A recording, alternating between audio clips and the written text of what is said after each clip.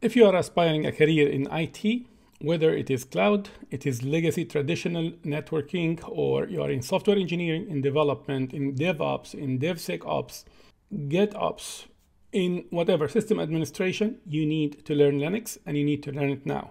This is the best course to have you learn that in less than three hours, master it, and become confident with your Linux knowledge.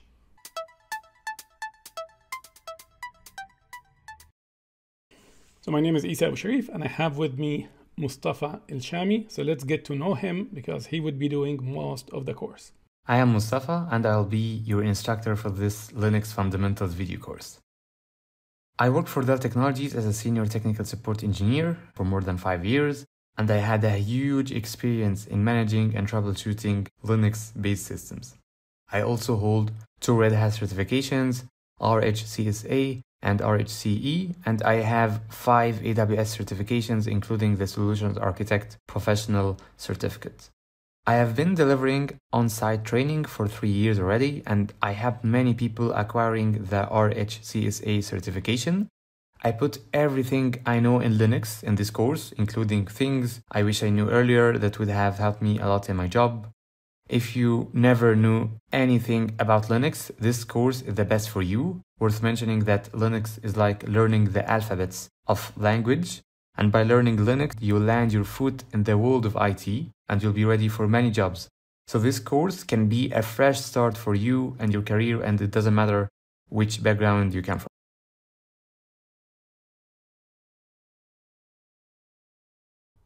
Let's start with IT fundamentals.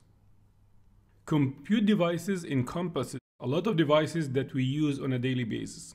And that includes laptops, iPads, iPhones, mobile phones, servers, anything that has to do with processing that we use, which includes apps that we use on a daily basis. And although each one of them is used for a different use case, but they have a lot of things in common. And that's what we are trying to focus on in this lecture. So common components for computing devices include the CPU, the central processing unit. The central processing unit is considered like the brain, the main muscle in the computing device. And this is where all the instructions, all the input and output operations, data exchange, processing happens. And that is existing in every single device. And some devices, they could be powerful enough where they could have more than one CPU inside them. Then we have the RAM or the random access memory. This is where when you run one of your applications, it runs in the RAM. So for example, you are running Microsoft Word or PowerPoint, or you are using uh, Google Chrome or using an email client, Outlook, or whatever it is. Then when that file or that application starts, it runs in the, the random access memory or the RAM. Then we have the storage. Now I'm working on a PowerPoint file or a Microsoft doc file or an Excel sheet or I'm working on any type of data and now I need to save that file. Why do I save it? Because if the battery in the device runs out, maybe I'll lose the data. So I want to make sure that I save it so it will be there even if I switch off the device and I start it after one week or two weeks, I still have access to the data or the file that I was working on. And that's why we need a storage or a hard disk drive, or sometimes, depending on the technology, it's called solid state drive as well, which are faster ones. Then we have the network cards or interfaces. When we connect at home and we are on Wi-Fi, how is that happening? How is that exchange happening between my phone and the Wi-Fi network at home? There is a built-in Wi-Fi adapter that facilitates that in your phone and also in the router at home. Similarly, if we have a server connected in a network, then that server needs to be cabled into the network. It needs to be connect, connected into the network. How? There is a network interface card. So the type of connectivity can be cabled or can be physical or can be Wi-Fi, wireless. Then we have the monitors. I mean, we look at, in, at the phone and then we can see a lot of things. This is your monitor, laptop. If you have a desktop at home and then you have a, a bigger screen, These are all monitors. Even the TV at home, it has the CPU, it has the input output, and it has the interface for the network, either Wi-Fi or wired, and it does have a monitor because its function is to display movies and uh, shows and stuff like that for you. Then we have the graphic CPU or the GCPU. This is in case if we have a device that does a lot of rendering videos and processing videos and editing videos and movies and stuff like that, then it's better to have a dedicated card called the GCPU because it accelerates the processing of graphics or graphic related content. One thing very important we need to learn is what is an operating system. Linux is an operating system, but also Microsoft Windows is an operating system. Mac devices, they have their own. Our phones, they have either iOS or Android operating system. So what is an operating system and why do we need it? The operating system is basically the mediator between the applications and the actual device. So if this is a laptop, without the operating system, you cannot have Microsoft Windows, you cannot have PowerPoint, you cannot have your calendar, you cannot have your email. These applications will not be installable on your device without the operating system. So that's the one that will understand the applications and also will understand the hardware or the actual device components, and then it can translate between them. The operating system manages the application and software. It manages the memory that you have on the computing device, be it a phone, a printer, a wireless router, a computer, and a tablet, an iPad, whatever it is. And the hardware the physical uh, components themselves, the processes that are required to have everything work in harmony and in charm, and also the input and output. If you want to send something to the outside, to the internet, it has to go through the Wi-Fi component on your device and then it goes out. If you want to print something, then it has to go through the Wi-Fi to the printer. If you would like to use the camera, if you'd like to use the keyboard, all of these are periphery devices, external devices that needs to interact with the hardware. Who is the coordinator for all of that? That's the operating system. Why do we need it? Because we cannot use our devices without having an operating system installed because our applications are not going to be installable or even functional without it. So the operating system is the most important component of software that you have on your device. And of course, as we mentioned multiple times, the applications, they need that. What are examples of operating systems that we definitely either have heard about or we are using them? Of course, you're looking at Linux as an operating system, and that's what we are going to discuss here. We have Windows and we have Mac as well. That's on the computers and servers. How about the mobile devices? How about the phones and all that? Then we have Android and we have iOS from Apple. So this is if you have a Samsung phone or if you have any other brand of phones, then Android is going to be the operating system. If it is an Apple device, then iOS is going to be the system. So we are using operating systems without even knowing why it is so important and why we need to learn it. The operating system sits between the physical device and the applications, and that's how it works then the operating system must be there and you get the choice based on what exactly is the need. What are the applications? Are the application installable on windows? Do they need windows or linux? Are they installable here and there? So that all has to happen. And if you would like to put that in an image we have the computing hardware. So that's the memory the speakers the microphone the monitor the mouse the keyboard the networking devices the camera and so on and then we have the applications, Chrome, for example, YouTube, you need to run uh, PowerPoint, you'd like to use Outlook and other email applications and so on and so forth. Then you need an operating system. It could be a Mac, it could be a Linux, it could be a Windows, and that's the coordinator, the one that understands 100% what's happening on the hardware side and what's happening on the software side. So any application, including the operating system, we call it software. These are programs developed to do their function. Whereas anything else that we can physically see and touch, that is the hardware or the computer hardware. Operating systems, they could have different interfaces. So the one we are mostly used to is the GUI interface or the graphical user interface. And we use that on our phones, we use it on our Windows machines and also on our Mac OS machines or Mac machines. We can touch if it is a touch screen or we can use the mouse to click and so on. So it is something that graphical and it is colorful and we interface with the device and applications and all that through these, colorful icons and that's what we do. Linux is not like that. Linux is a command line interface. Can we have a browser installed on a Linux machine? Of course, you can. But what we are saying is Unix heavily depends on using the command line. And we have terminals, and we're going to discuss that in detail. And then we start typing commands like date, for example. Then you have the date uh, printed for whenever that command is deployed or is implemented. We can achieve a lot of what we can do with the graphical user interface. We can install applications, we can run them, we can kill them, we can stop them, we can delete them. We can do a lot in the command line interface on Linux. So we need an operating system and we need Linux because that's the future, whether you are in cloud, in DevOps, in machine learning, in AI, in development, in programming, in software testing, software engineering, computer engineering, whatever the field that you are choosing or you are in already, you need to master Linux. This is not a luxury anymore. This is a requirement and you must have it. And this video is going to give you all of that. All right. Now let's talk about servers. What is a server and what do we mean by a physical server? So when you listen to that term or you hear it, you know what we are talking about.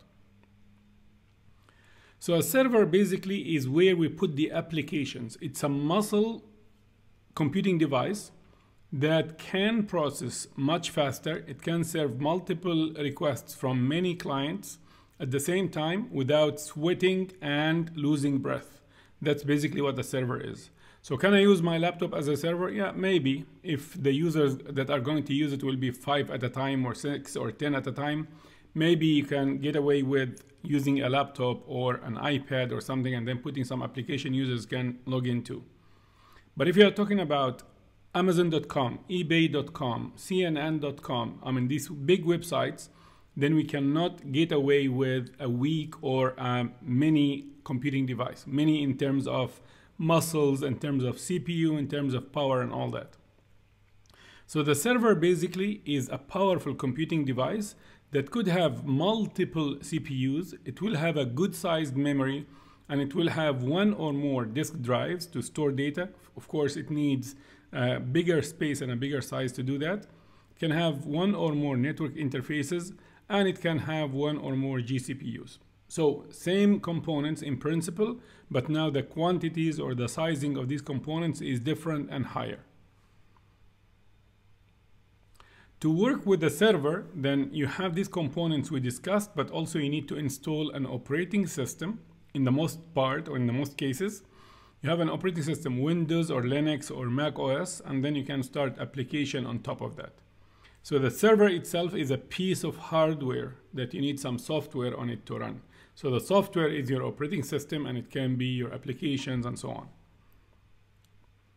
And of course, when it comes to a muscle server or a powerful server, then we are talking about something or a device that can serve hundreds or ten or thousands or tens of thousands or maybe more of clients or users that will be accessing that game or that application on the server.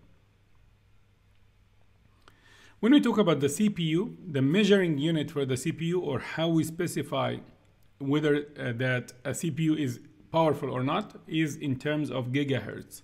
And of course, the generation as well. I mean, you have generation 9 and you have an Intel or AMD, you have different types of CPU manufacturers and also different series or generation within each one.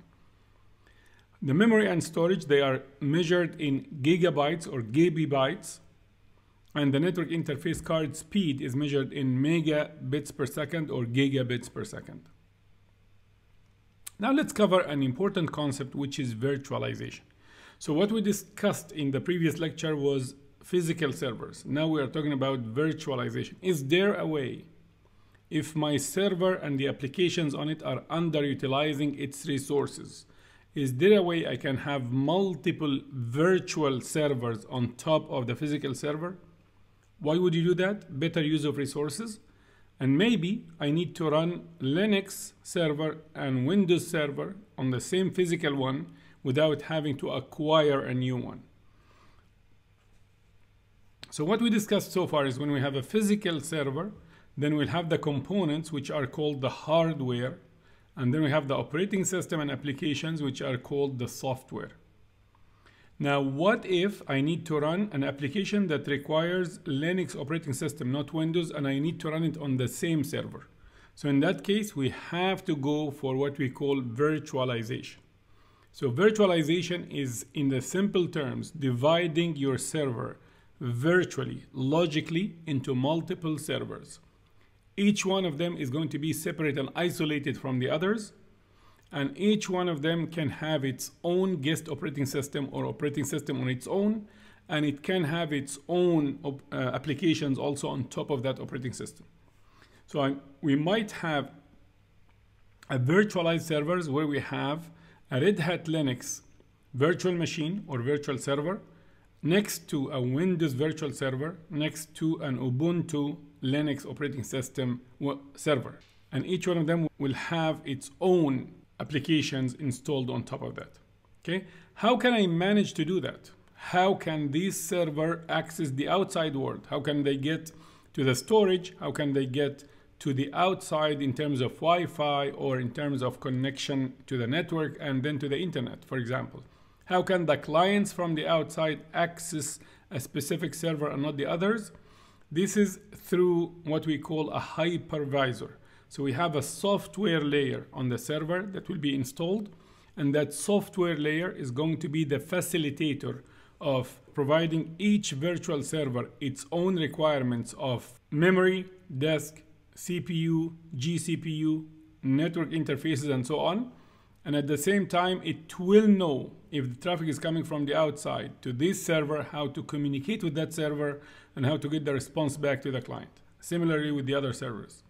So the hypervisor is an emulation layer that will make every one of these virtual machine feel and be convinced that it has whatever it needs from disk and memory and CPU and all that so the application and operating system can be installed successfully.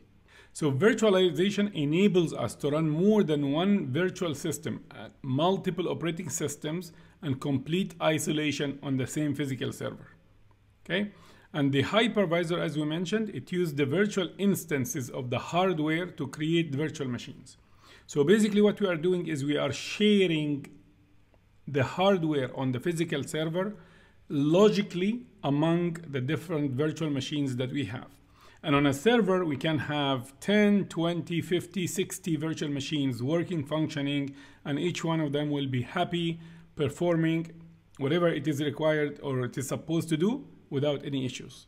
Okay, now how many can I put? Is there a guideline? It all depends on how strong and powerful the original server is. Because now you are sharing its own hardware and all that. So you don't want them all to oversubscribe and demand more than what the server has at all the time in terms of memory and storage and CPU and all that, then you will have a problem or that means you have overutilized or have abused the capacity of virtualization that you can have on this server.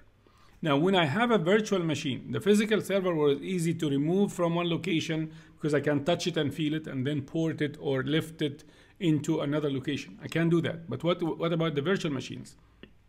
When you want to have a virtual machine moved from one place to the other, or maybe you just need to have a backup of that virtual machine just in case, because that is software. If a problem happens, then you can restore your virtual machine and the services on top of it or the applications on top of it.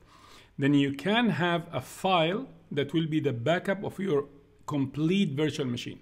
So that means if you want to install it on a different server, all you need to do is to take that file and then install it on the other one, on the other server that has the same hypervisor or compatible hypervisor. Same thing for the Windows, same thing for the other Linux. So you can always have a snapshot or a backup and that will be what you need to restore it on a different server if you want. So the virtualization components now for the virtual machines, each one will have its own operating system, its own applications, but also each one of them will be told by the hypervisor that you have this much of CPUs in a virtual format. So basically you are sharing this much of the CPUs from the physical server. And you are sharing or you are being allocated this much of memory, virtual memory from the original memory.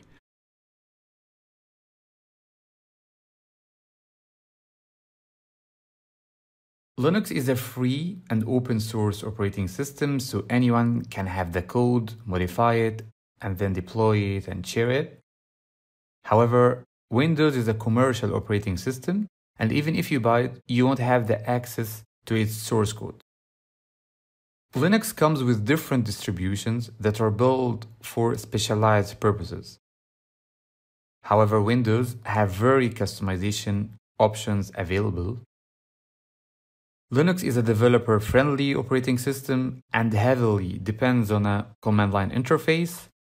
On the other hand, Windows is a user-friendly operating system as it's based on the graphical user interface. Linux might be relatively complicated to install. However, it implements complex tasks fast, and this is due to the fast nature of the Linux operating system. If the hardware is the same, a Linux operating system will run faster than Windows.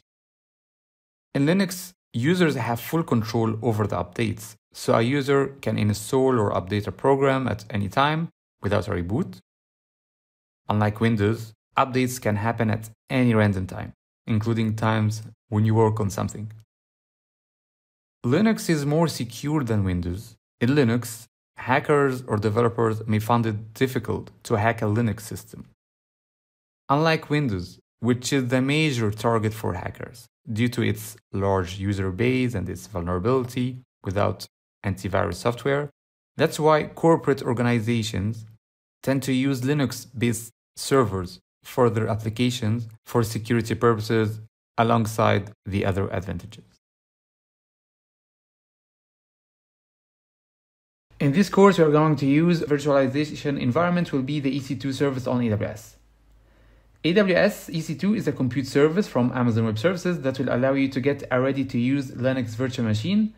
This has the advantage that you are going to get some experience with AWS. So, how can we do that? First, we'll create an account on AWS. Then, from EC2 service, you select an instance from the free tier and use the Linux operating system. Then, you'll connect to your machine from the comfort of your laptop or online.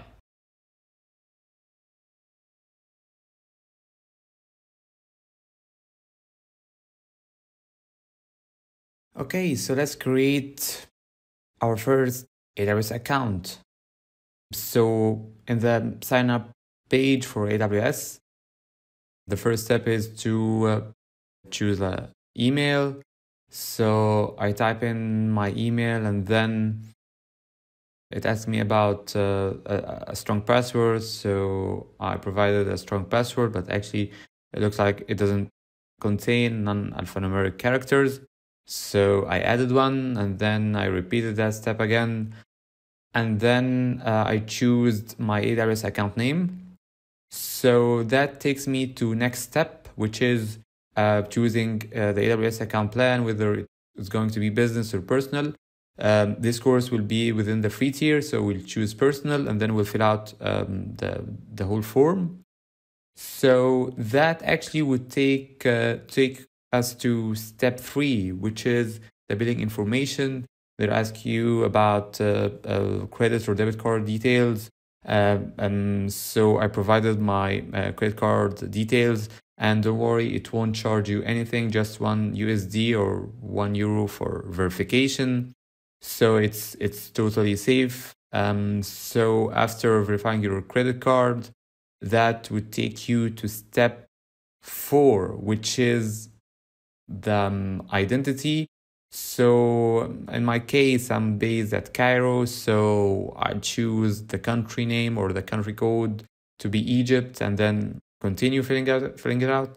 So last step we'll ask you about um, the support plan, which support plan we're going to use. This course will be again uh, in the free tier, so we'll choose the basic the basic support However, there are other support plans for developer and business support, which is for uh, big enterprises or individual developers and so on. So basically, in, in, in, this course, all you need is uh, the basic support. Maybe later you can upgrade, but we'll use the basic support for now. And then last step is uh, completing sign up. And for now, AWS, we just created our, our, our AWS account. So basically, you can go to the AWS Management Console and start logging in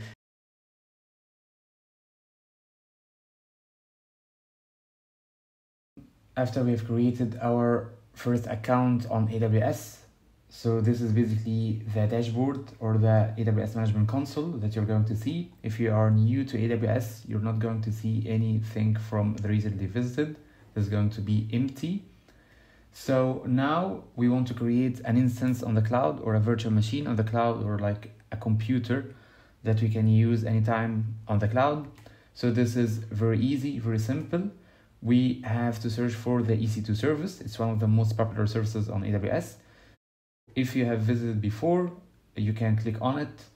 If you'd like to search for it, all you need to type is EC2 and you will going to find it to find it. Also, you can go there from services, compute, EC2 and click on it. Then we're going to click on launch instance. I'm going to provide a name for it. So for example, Linux instance for practice. And I'm going to choose the distro or in AWS language, the Amazon machine image or the image. I'm going to use Amazon Linux 2. And of course, feel free to use um, some other Linux distros. For example, we have Red Hat already and it's free tier eligible. That means that you're not going to pay anything for using it. And uh, we have SUSE Linux, Debian, and so on. But I'm going to stick for Amazon Linux 2. Um, and then I'm going to leave everything as it is. Instance type is T2 micro if you're on, on the Frankfurt region. And for the key pair, if you are new to EC2, just click on create a new key pair and I'm going to name it dolphin and then I'm going to click on create key pair and that's it. I'm going to leave create security group and allow SSH traffic from anywhere. One last thing is to go down to advanced details and expand it and go all the way down to the user data box. In this box, there is an attachment and at the beginning of the course, and I may leave it as well in this video and this attachment called user data. It's a text file and this is the content of it. I'm going to update this every now and then and regardless of what you see at the moment, all you need to do is just select all, copy and paste it under the user data and that's it. And things will make sense and you'll understand it later in this course and in upcoming course of AWS. So now we are done with preparing our first EC2 instance or our first VM. And all we need to do is click on launch instance. And I will go to view all instances. And this is the instance that I have just created, Linux instance for practice. I'm going to refresh. And here we go. Now it's running. So how to connect to it, how to get a terminal to start practicing Linux commands. So I'm going to click on this one, select it and connect. And I'm going to click on connect.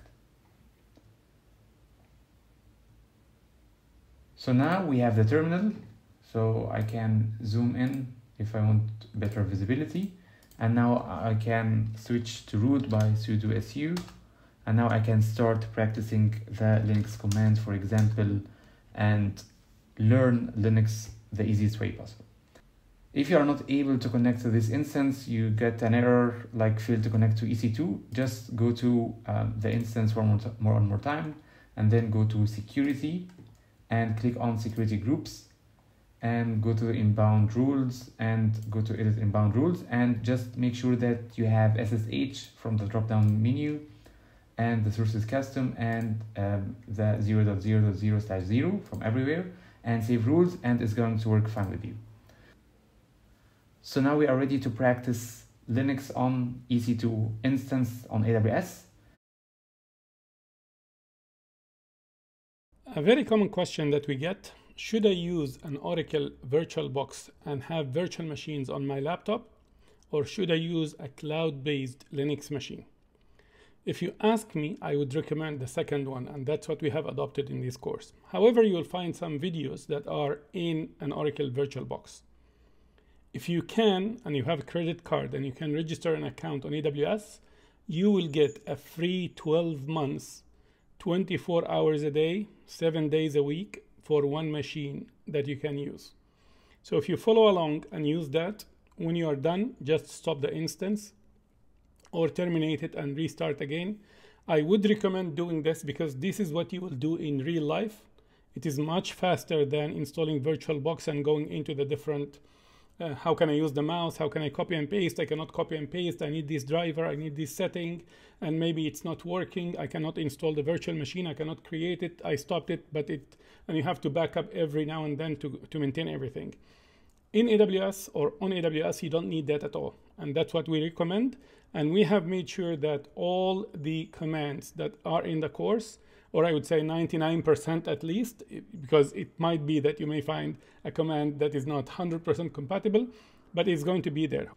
So if you have a credit card and you can create an account in AWS, go for it. If not, please let us know in the comment, comments down below. And we are going to give you a link for a video on how to do it on VirtualBox. But that will be another maybe couple of hours, three hours of effort that you will have to take until that is installed. All right. So AWS is the way to go. That's what you will do on the job, and it's better to get used to it from now.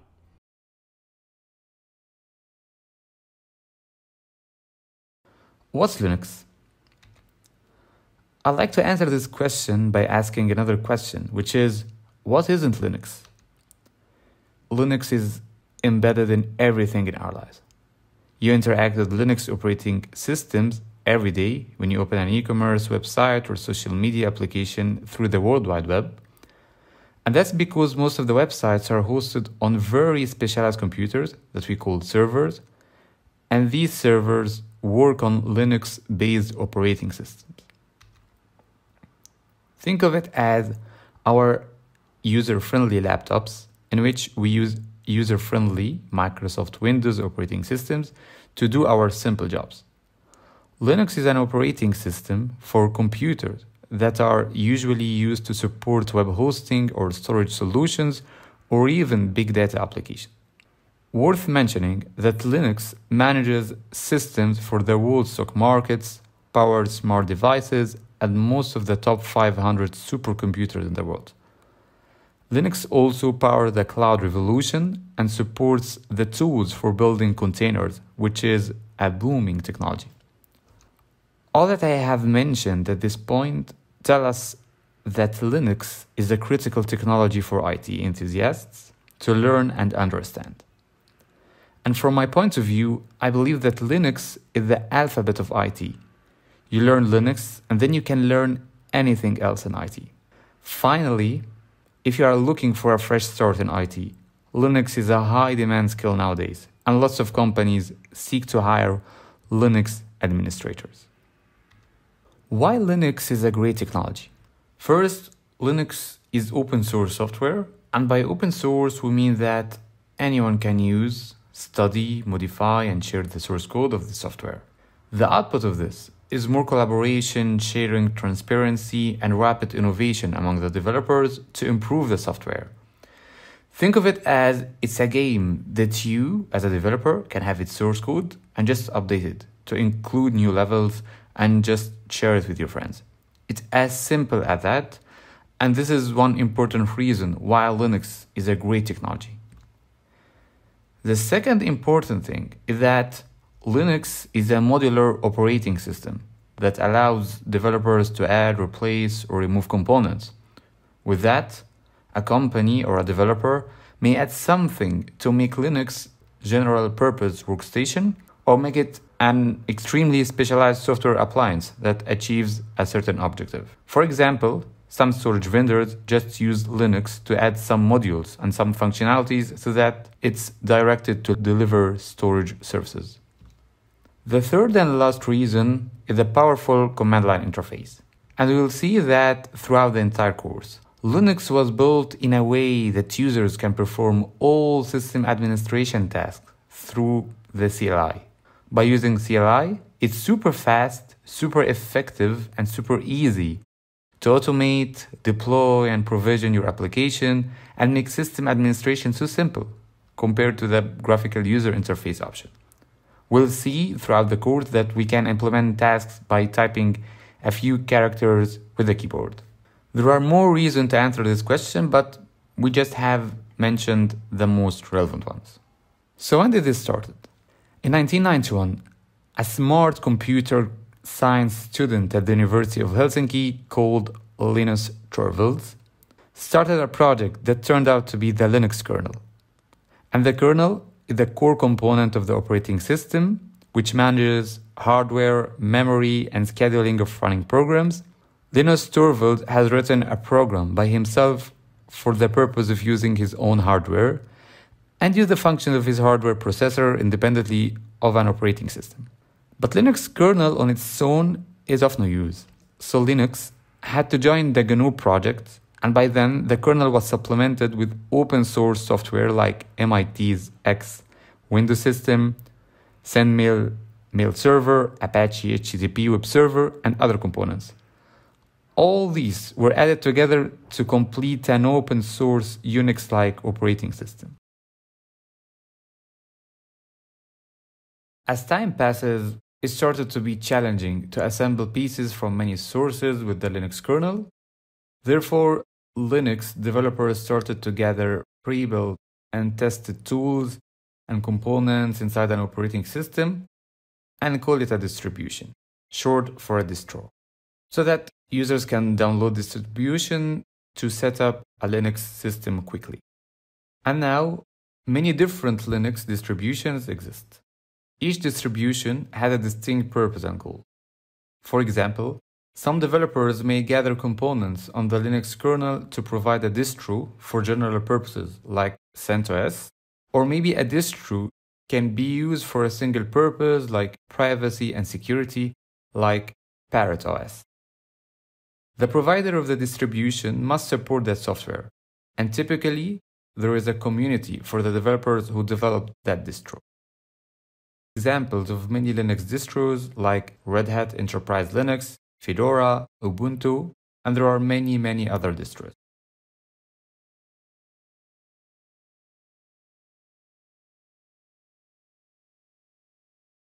So, what's the terminal? The terminal or the console is a program that allows us to accomplish and automate tasks on a computer without the use of a graphical user interface.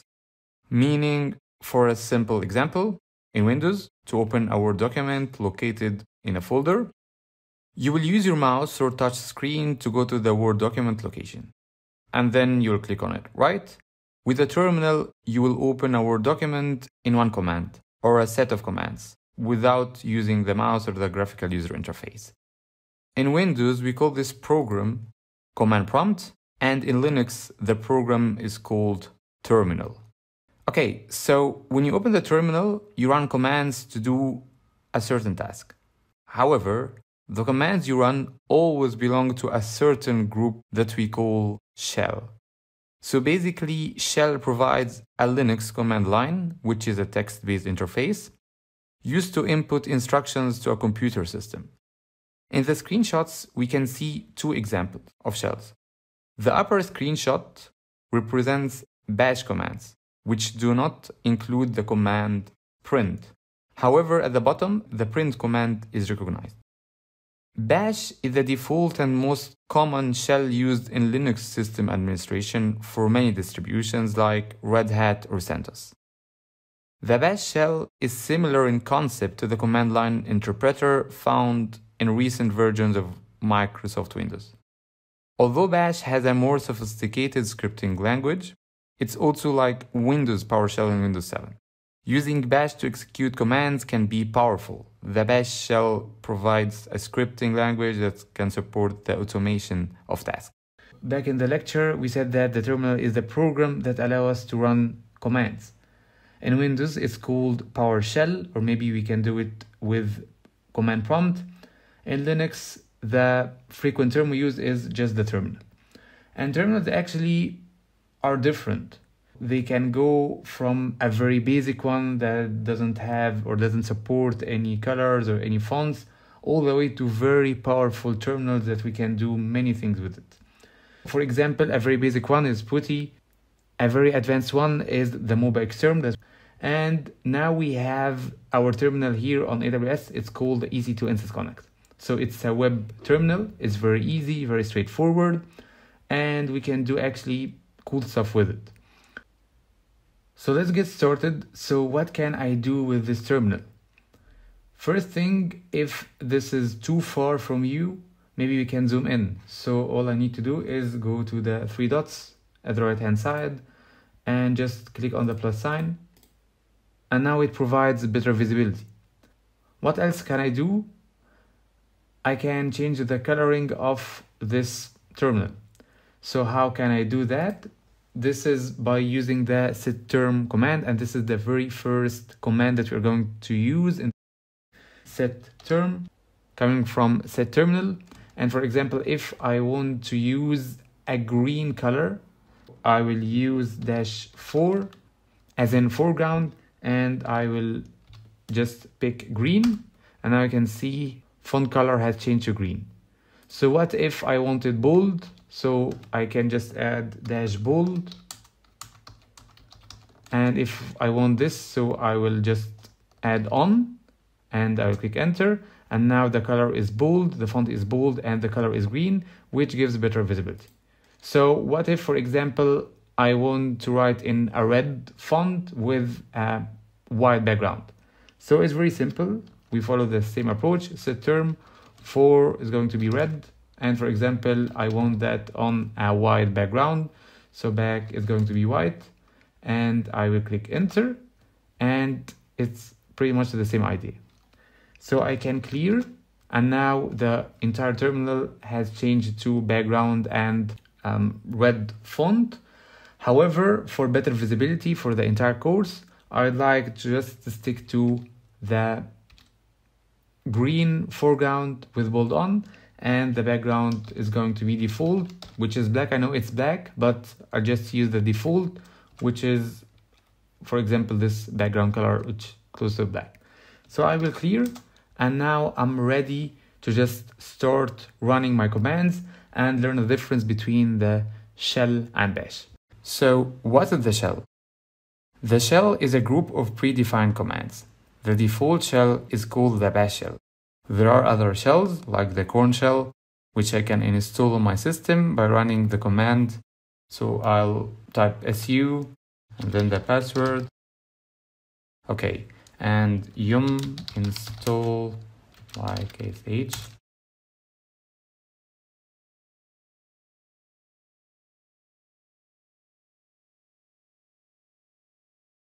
Okay, so now we have both the bash shell and the Korn shell.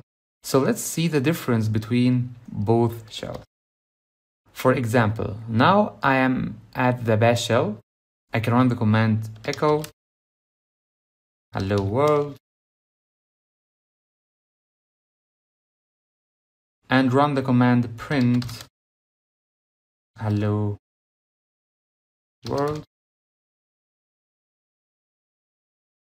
you will see there is an error with the print command as it's not found in the bash shell, okay? However, if I switch to the Korn shell by running case h and then run both commands again, so echo hello world again and print hello world So you'll see the print command is recognized here and it can be found and can be run without any issues in the Korn shell. That was a basic example to get an idea of the shells and shells are something that can be developed. meaning at a high level, I can develop my commands and put them in a shell and name it like Dolphin Shell.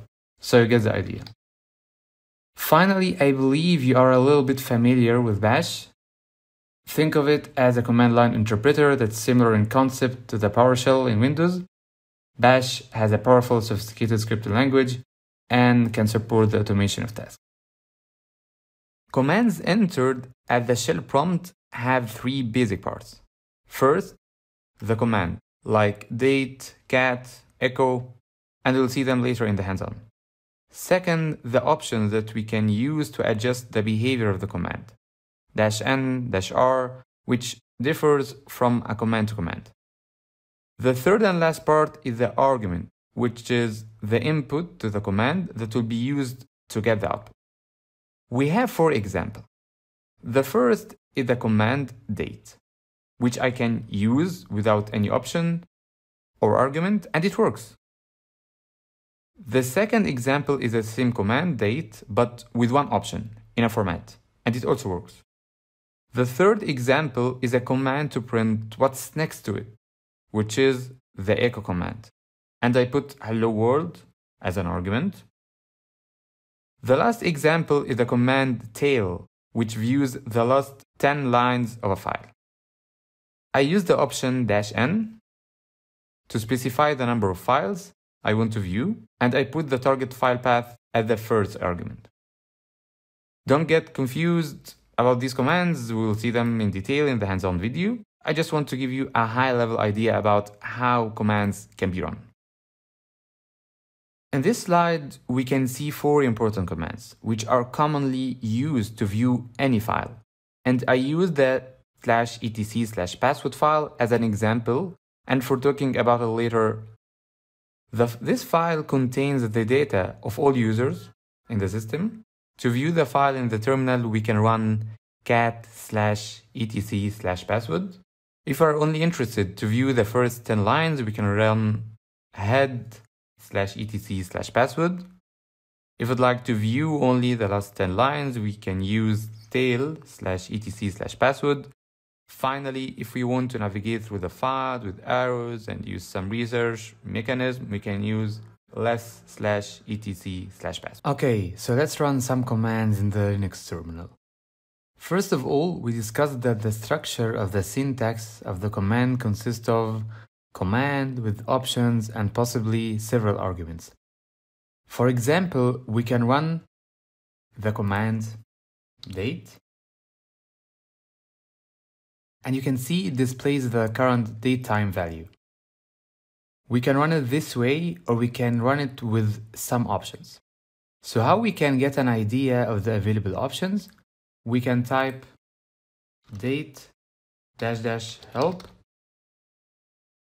so after running this, we can see we can run the command using all these options with these format. For example, we can run the command with plus and percentage R capital. So it displays the hour and minutes. So let's try this. So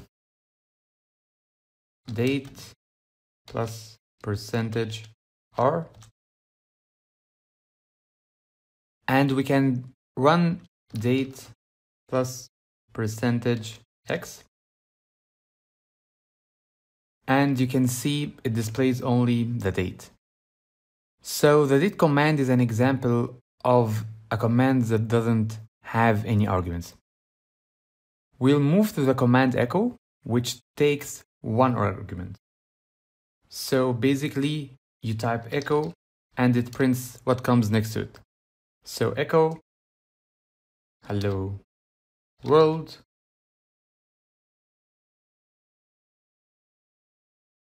and it prints hello world. One more example is the file command. So this command as well, it takes one argument and it's used to identify the type of the argument.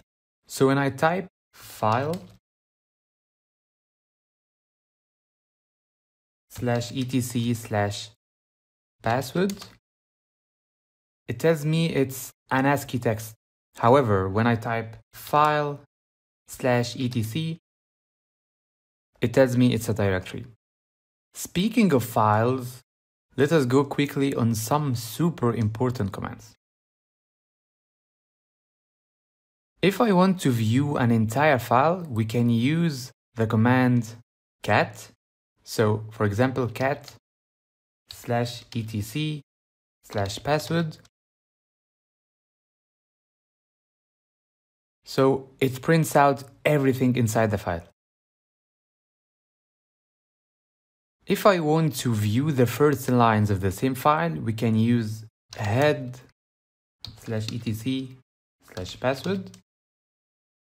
And these are the only first lines. If I want to view the last 10 lines of the same file, we can use tail slash etc slash password. Now the question is, what if I need to view only the last 5 lines instead of 10 lines? I will wait for, for 5 seconds so that you can challenge yourself.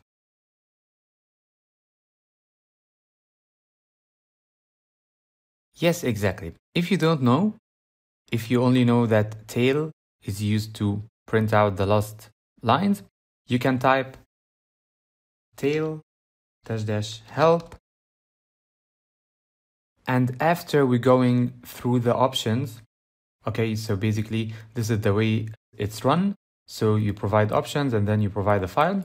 So after going through the options, you can see that dash n is the option we want. It output the last number of lines instead of the last 10. So this is the option. So again, I clear it and then tail dash n number of lines, I'll type 5 slash etc slash password. And here we go. So the last command we are going to run in this hands-on will be the command that takes two arguments, like the copy command, which we'll discuss later in detail in module 4. To copy a file, we'll need to run the cp command and specify the location or the path of the file at the first argument and the destination path as the second argument. So here we go. cp etc password and another in the same di directory password 2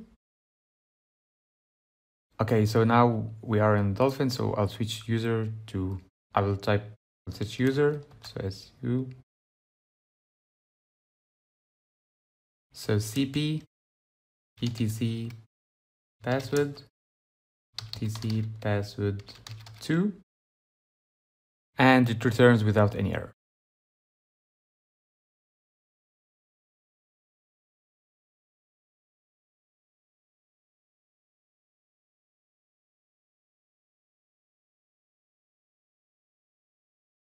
What do you do when you want to open a certain picture located in your Photos folder in your Windows environment? You basically click on this PC and go to the drive and then maybe click on a couple of folders till you reach the photo you want to open, right? If you notice the path you take from the start till you get to the photo, you see it's like a tree. This idea is similar to the Linux file system. In Linux, we work with files, and all files are organized in a file system. The file system is an inverted tree of directories which we call file system hierarchy. The tree is inverted because the root of it is at the top of the hierarchy and the branches are below the root, as we can see in front of us. The slash directory is the root or the start directory at the top of the file system hierarchy. And from there, you can go to the desired file or directory in just one command by specifying the absolute path. Or you can jump to subdirectories exactly like what you do in Windows. That's the relative path. To clarify the difference between absolute path and relative path, let's take the following example, using the inverted tree in front of us. If I want to read the content of the file, file1, and I know I'm at the temp directory, with an absolute path, I'd run cat slash temp slash directory one slash file one. So I write the complete path of it. Think of it as an address. However, if I want to use the relative path, I'd run cat directory one slash file one. So the start of the path doesn't start with the slash character because it will use the current directory as the start of the path to the file. In this slide, I'd like to list the most important commands to navigate through the file system. pwd for printing the current working directory. ls is used for listing files and directories inside the directory and many useful options usually come with ls command. We'll see that in the hands-on. cd is for changing directory, meaning accessing the directory that comes as an argument. Also, cd has some nice shortcuts or arguments, like when it's left empty, it goes to the home directory, while when you give it two dots, it goes to the parent directory. Finally, when you give it only one dot, it means to go to the current directory. That may not make sense with cd command, but can be useful with other commands. If you want to know where are we or in which directory you are working in, we can run the command pwd. And we can see we are under home slash dolphin. If we'd like to go to any directory, we can use the command cd stands for change directory. So if we type cd slash then that will take us to the root directory where all other directories start from and you can see the current working directory changes to slash. Okay, and if we run pwd one more time, we will see we have moved to the root directory. Now, how to list what are the branches or the subdirectories from the root directory? We run ls command. All directories under the slash root, under the root directory, contain a certain type of subdirectories or files. And that represents the file system hierarchy. We will discuss in concept the content and usage of each directory in the, in the last lecture of this section. From the root directory, we can go to any directory like home by running cd slash home which is the absolute path, or cd home, which is the relative path, and both will do the job because we are at the root directory. So we go to the home directory and then we can do listing again. But this time I want to use ls-l option, which will provide some information regarding the listing like the permissions, like the user and group ownership and the last modification date. So, and we'll discuss this later in this code, don't worry. So, at this point, I will go to the Dolphin directory by using the relative path. So, cd Dolphin, and I am there. If I wanted to use the absolute path, I'd run cd home slash dolphin. So you get the idea. Okay. Some useful shortcuts will be cd double dots, which will bring me to the parent directory, or one dot, which means go to the current directory. And this doesn't make sense because with the cd command doesn't make sense. However, it will make sense with the cp command. Also, I can run cd tilde, okay, and it will get me to the current home directory again, the control home directory of the current user, which is the root, okay. So the final thing I'd like to highlight here is the magic of using the tab tab. Do you remember the auto completion in Linux? For example, if you go to the root directory and you want to change the directory but you don't want to use the command ls. you can use tap tap and it will show you all the available options to go to. And if you type the letter V and you type OneTap, it will complete it to var since no other directories start with var, with V.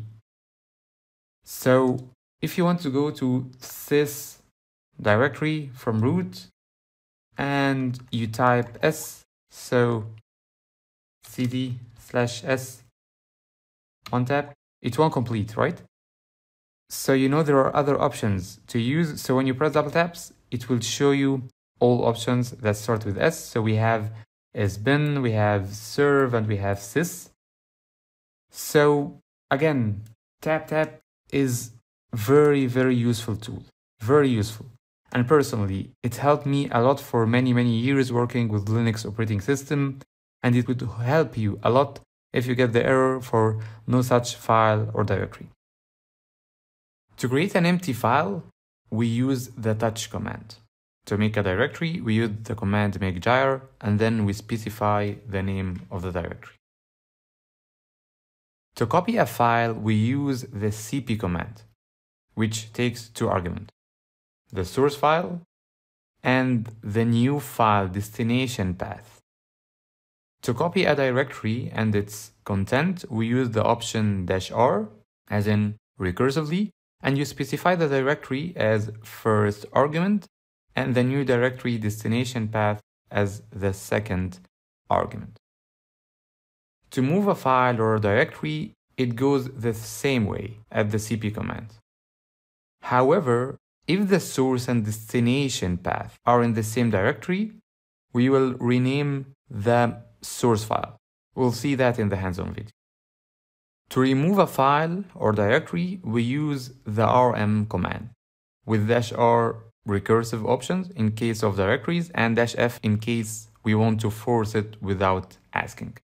But be careful when you use this command because if it's run in the wrong directory, it may remove some important files, and I can recall a disruptive incident when a system engineer ran the same command at the root directory, and the command removed the entire file system, and the servers faced complete shutdown, so be careful with that. Hello everyone, in this video we are going to play around with files and directories, how to create them, remove them, copy them, and move or rename them. So let's move to the home directory and we'll go to the Dolphin directory to practice this. So cd home slash Dolphin. Okay, so here we go. First thing, let's create some empty files and by that we'll use the command touch. So I run touch file one and it works. It doesn't show me any error, uh, so it works. And we can verify that the file has been created by running the ls command. So here we go. I can create multiple files like touch file 2, file 3, file 4, and that would create the other files. Okay, so we have the, the new files. Also, I can use special expression. So I can run touch file curly bracket 5 to 9, 5 double dots 9. So it's 5 to 9. And you can see it has created files 5, 6, 7, 8, 9. So that's the first special expression we take in this course. So that's the case with files. If you want to create directories, we will use the command make dir. So I will run make dir dolphin dir. That's the name of that directory I want to create. And by running ls, we can see the directory is in blue, the dolphin dir is in blue. So that means it's a directory. Also, if we want to create a nested directory like dolphin dir 2, like make dir, dolphin dir 2 slash sub d slash sub sub d, we need to specify dash p option, as in parent. And it will create all the subdirectories in one command. Pretty easy, right? Okay, so moving forward, let's copy some file to other directories. For example, I need that file 1 to be under the Dolphin directory. So how I can do that? I can use the command cp. So cp file 1 and the destination which will be dolphin dir slash. So if I run ls dolphin dir, we can see the file is already there, file 1. So if I want to copy the directory dolphin dir under the, for example, temp directory, then I will use the same command, cp dolphin dir and slash temp, okay? But it will give me an error that we need to specify the recursive option. So I run it again. So up arrow and, and just dash R. And it works. It doesn't show me any error. So let's clear this. Okay, so we can verify that by listing what's inside the temp and we can see the dolphin dir is there. Okay, very easy. Let's move to the move command. And in fact, we can use it in two ways. First, the common use case is moving the files or directories from a location to another. Like I can move file to here, I can move it to be under the dolphin dir or dolphin dir. Okay, so how can I do this? I can say move file to dolphin dir. Okay, and when I list what's inside the current directory, we don't we no longer see the file two. It's not there. And when we list what's inside the dolphin dir, we can see the file two has been moved. Okay, and the same goes with directory. So you can try that by yourself. Second use case is renaming the file, which means that if I run move file 3 to the name of the new file, so test, and we'll list. So we can see file 3 again no longer exists. However, that file test is has replaced it. And if I run move file 4 home dolphin, which is our current working directory, test2,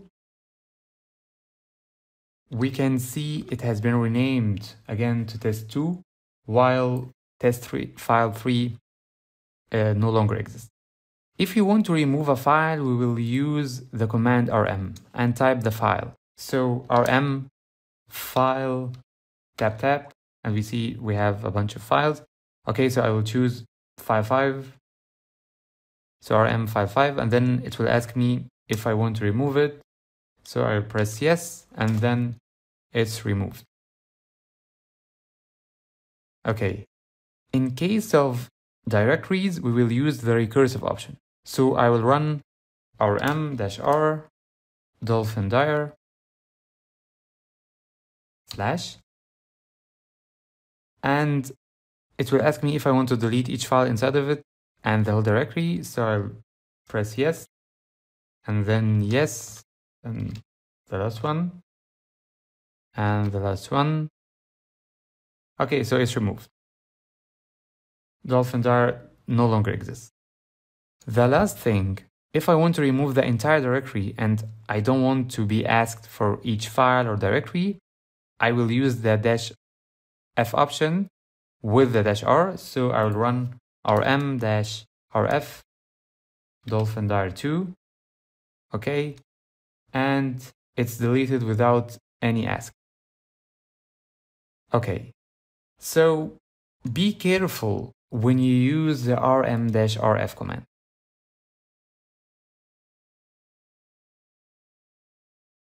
Important directories in the Linux file system hierarchy.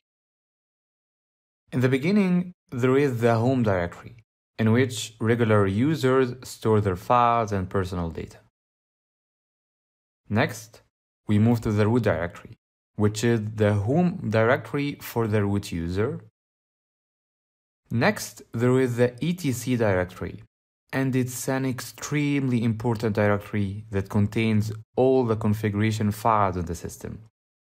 So whenever you hear a configuration file needs to be modified or something, then you should go to the etc directory. And we have that slash var directory. And it's also a very important directory and it contains all variable data that persists between reboots. For example, log files that dynamically change in the system will be located inside the slash var directory. And by the way, whoever works in the technical support or his job is to review the logs in the directory, this directory is the go-to directory for them. Now we talk about slash temp directory, which contains temporary files, and these files, if not modified, in several days will be removed. The slash boot, which contains the files to store the boot process to start the system. Slash run directory, which is responsible for storing the runtime data for processes started since the last boot. Meaning, if we reboot our system, all the data inside the slash run will be removed and will be started from the beginning. So this directory contains the running processes, files, and their content. Slash user directory contains all the installed programs and shared libraries like user commands, system commands, and other customized software. Note that some directories are just links to other subdirectories like the sbin. It's only a link to the sbin directory under the user directory. The final directory will be the slash dev directory, which contains device files, the system uses to access the hardware. Tab completion is one of the most powerful tools in Linux and it saves a lot of time. Tab completion allows a user to quickly complete commands or file names after they have typed enough at the prompt to make it unique. For example, you are pretty sure that there is a command for changing the password for each user, and this command starts with pass, P-A-S. To ask the prompt for help to get you all choices for command that start with pass, you press double tap. So pass and double tap. And now you can see we only have three options. Password, paste, and pasuspender. You see, it's super cool, like an MCQ exam. For now, I know pretty sure that the command password, this is the command I want. I don't need to write all password this way. We can just add an S and press a single tap and it will auto-complete it for me because no other commands are starting with pass except for the password command. It also works with options completion. For example, if I type user add, which is a command to create a new user, and we press dash, and then tap tap, you can see all options available to use. Moving along with our course and our journey in Linux, the single tap or double tap should be our way to complete the commands or the destination path. To get back to the recently run command, you can use the up arrow and down arrow to navigate through the history of the commands. That would save me some time writing the command all over again. If the commands are recent, I can get them by pressing a few up arrows. So it's super easy and super fast. So what if I need to see all the commands I run for this user?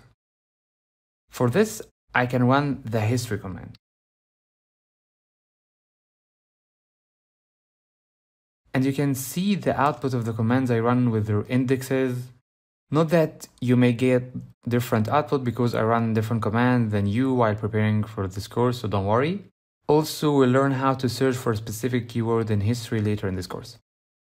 If you want to run a certain command in the history, it's very easy. You just press the bang button and then the number of the command. For example, I'll choose I'll choose this one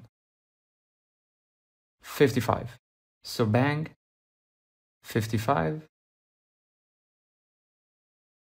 and you can see it implemented it run the command number 55 in history output we talked about the dash help option and how it can help us get to know the structure of the command and the available options. But what if we want more documentation or like an example? The answer is the man command to view the manual pages. System manual pages or man pages are a great source of documentation that is available on the local system and usually is shipped as part of the software packages that are installed in the system. The manual for each command contains a lot of important information regarding the command or the probe, like description, options, examples, bugs, and the author. To look for a command or a configuration file in the manual, you simply hit man-k and the string you are looking for. In this example, I put the password command as a keyword, and it brought me all the commands with their brief description that contains the word password. As you can see, there's a number beside each command, which represents the manual section this command or file belong to. And that brings us to the idea of the manual pages. The manual pages consist of eight sections, and each section contains information about a particular topic. You can have a quick look at the brief description of each topic to get the whole picture. Last but not least, this is how you navigate through any manual page. From my point of view, practicing these commands in the man will make your life much easier. And these keywords apply on the less command as well. So I highly recommend you get familiar with them. There are other commands, of course, but I gathered the most important ones from my point of view. Think of the manual pages as a huge book or reference, which consists of a few sections, and each section has a different content. Each section contains a group of commands with their complete documentation.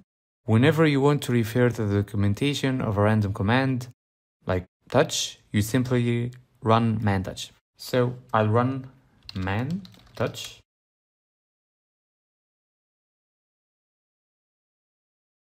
and you can see the entire documentation of the touch command. By convention, we say that the touch command is used to create a new file. However, when we read the documentation, we see it's used to update the access time and modification time of the input file of each file to the current time. And if the argument doesn't exist, it's created empty. You can navigate through the manual of the touch command the same way you use with the command list. You can use the arrows up and down to scroll up and down. If you want to jump to the end of the manual, you press Shift G. And if you want to go to the top of the page, you press G.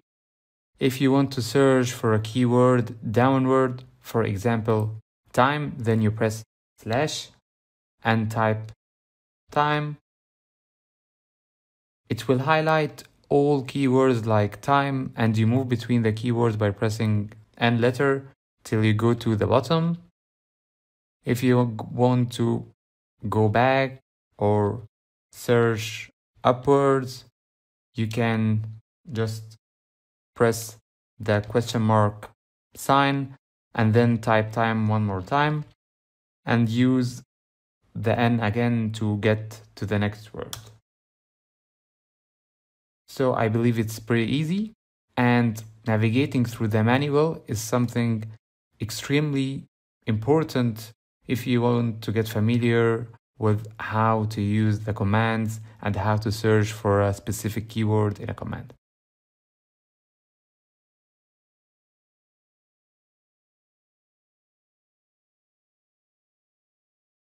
editing files and searching in files. Let's talk about editing files. Editing files is something you need to master while working with Linux because everything in Linux is based on files and inside each file a bunch of text contains information or settings that impact the system for example, if you need to modify something in the configuration file in the slash etc directory, you must be able to edit it perfectly. So how can we do it in Linux? We use VI or VIM, I call it Vim, and it's an interactive utility that allows us to do some text editing. There are other tools like Nano, but Vim is the tool we are going to use in this course. VI or VIM, Vim, is almost the same text editor utility. However, Vim is an improved version of the VI. Vim is configurable and supports split screen editing, color formatting, and highlighting, and I prefer this one. And when you Vim a file, you will access a mode called the command mode. It's a mode responsible for viewing the file and running some commands in the text. From it, you can go to edit mode or visual mode or extended mode.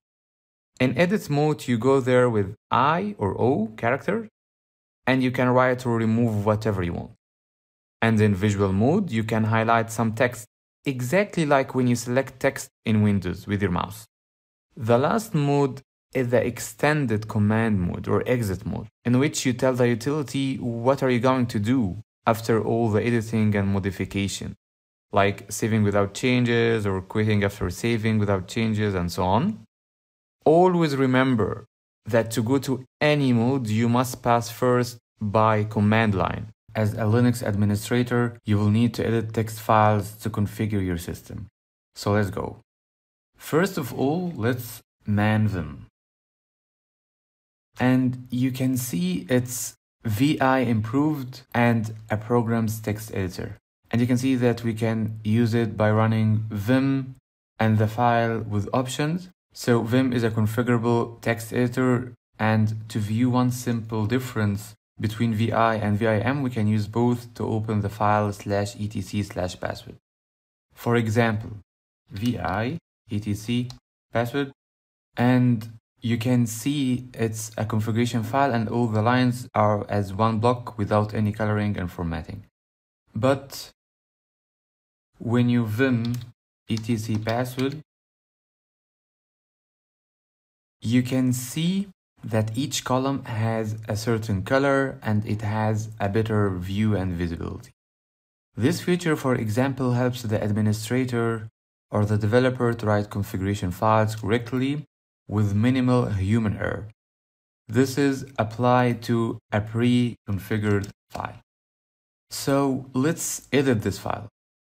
However, since this is a very important configuration file, the etc password, I will copy it first and place it under temp. So cp etc password temp Okay, so here we go. So let's vim this file. So vim temp password. And the first thing that you can see, it has no coloring. So since this is a new file, you need to configure it to get it colored. This is out of the scope of this course. For now, we are in slash temp slash password. And the first thing, we are currently in the command mode. We can move up and down, right or left, but we can't add anything. I'm pressing Y or pressing T. You can't add anything at the moment. However, we can run a command to remove one line like the command dd, so dd and the line is removed. There are many commands run in the mode, but I'll leave it to you to explore through the man or any other external search engine. We agree that whenever you vim a file, it automatically gets you to the command mode. If we want to edit this file, you must go to the edit mode by using the letter I. Now we have insert mode. Okay? So, and I can finally edit this file. I can type, hi, this is dolphin space. So I can finally edit it. And to go back to the command mode, we can press escape and it will take us back to the command mode. Another mode that we can go to, which is the visual mode. We can go to this mode by typing v small and you can select multiple characters for text manipulation. You can press shift V. So it's line, entire line. You can select entire line or control V. You can use it for column selection. And after we select the text, we you can use, for example, remove it by clicking on the letter X. So it, it's, it is removed. We can also select the block for copy paste as you, we do in Windows. So for example, Shift V, I will copy two lines and I'll press Y for yanked and then I'll move to the end of the file by Shift G and we'll paste it by pressing P and you can see I have pasted the three lines or the two lines I selected at the beginning. So it's pretty easy. And after editing two or three files, I'll be sure you'll master the skill.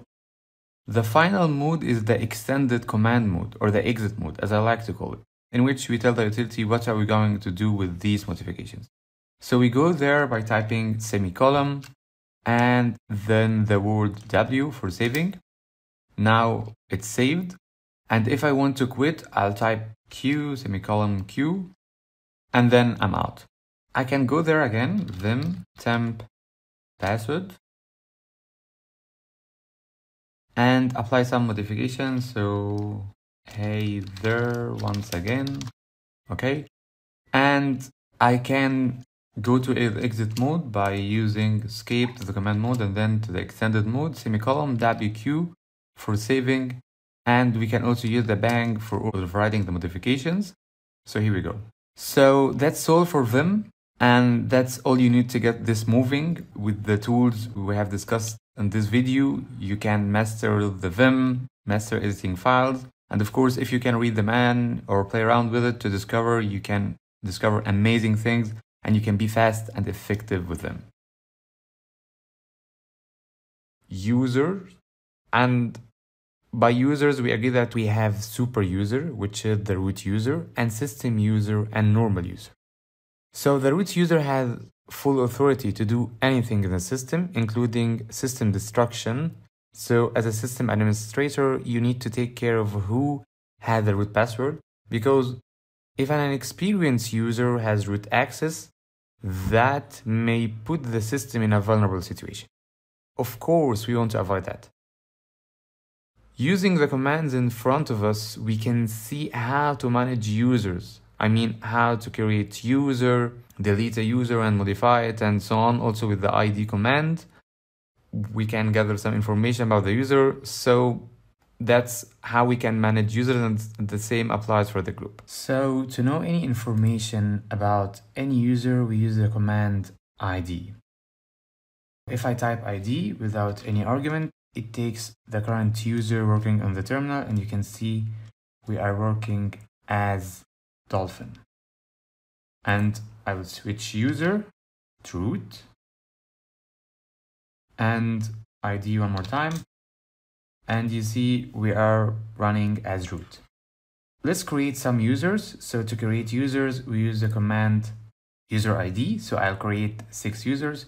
So user add Ahmed. And we see by running ID, okay, ID Ahmed. So Ahmed takes at the ID 1001 and we'll get to that in a little bit. Also, one more thing, whenever a user is created, a group with the same name of the user is created automatically. So there is a group called Ahmed that is created automatically when we created Ahmed. So I will create more users. So user add David, user add Maria, and I will run, for example, I will specify some options just for fun. I can use man or dash help for that. So I'll run user add dash u 4444 Muhammad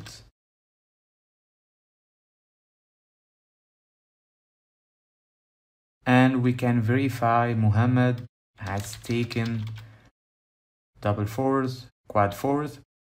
So here we go.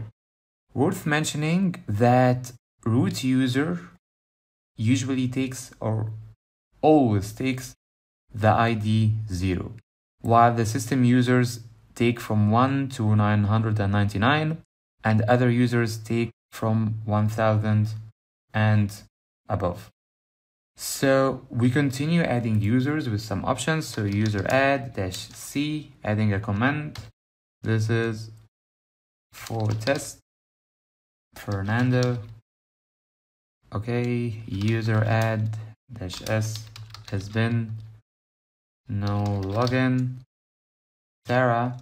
And here I specified that this user shouldn't log into any shell or in other words, it will log in, however, it doesn't, she doesn't have any shell to run any command from.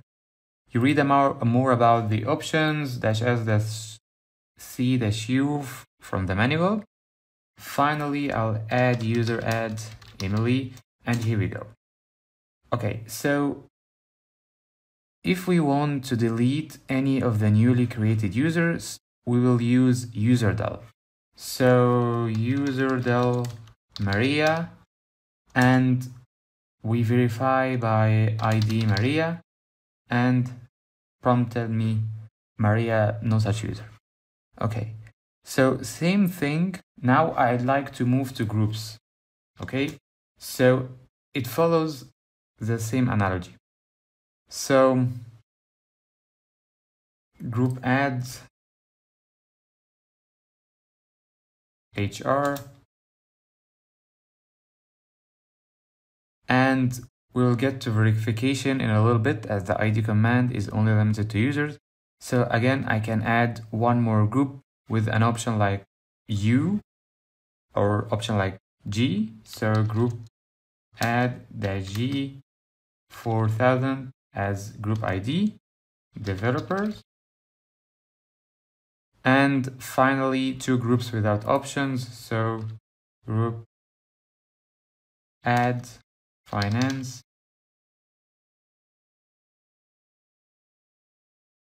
and group add operations and here I want to stop at something extremely important. It's time to finally work on the first configuration file. And when we say configuration file, we think we need to check something in the etc directory, right? So here we are going to check the etc, the slash etc password file, which we have mentioned a few times earlier in this course. So for user, we can check user information by checking the ID. However, if we want to check the source of it or like where the user information come from, we can view etc password. So I will use Vim.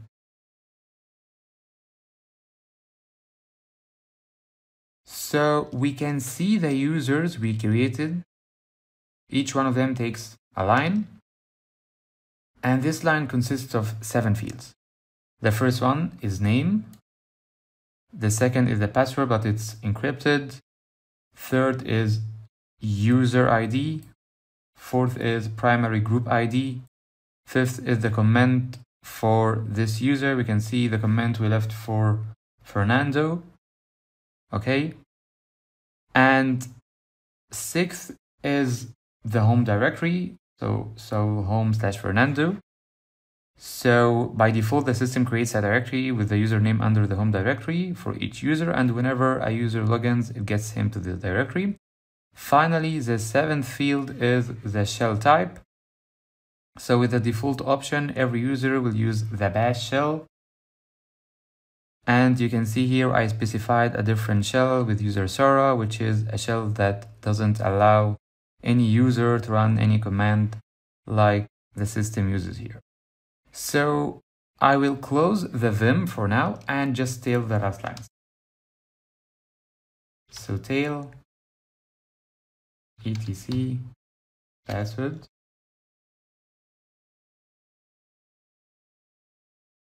and let me first choose a password for David. Okay, so I'll run the command password David. And the password will be dolphin. Again. And here we go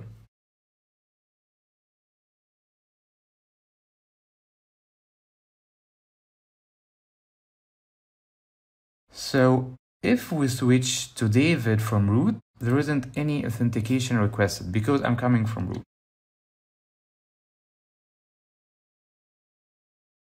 Okay. However, if I come from any external user like Dolphin, it asks for a password. So again, you David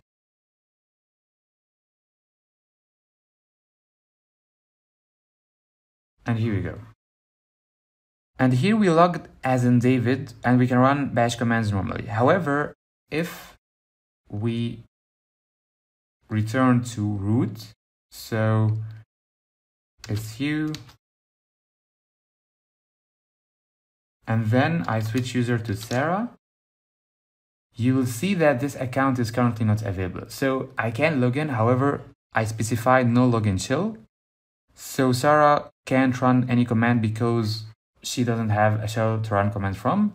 So it tells me this account is currently not available.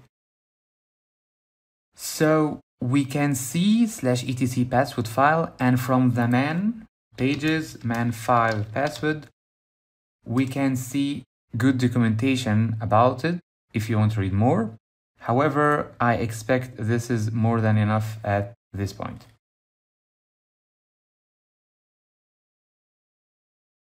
Another configuration file we will check together is the slash etc slash group.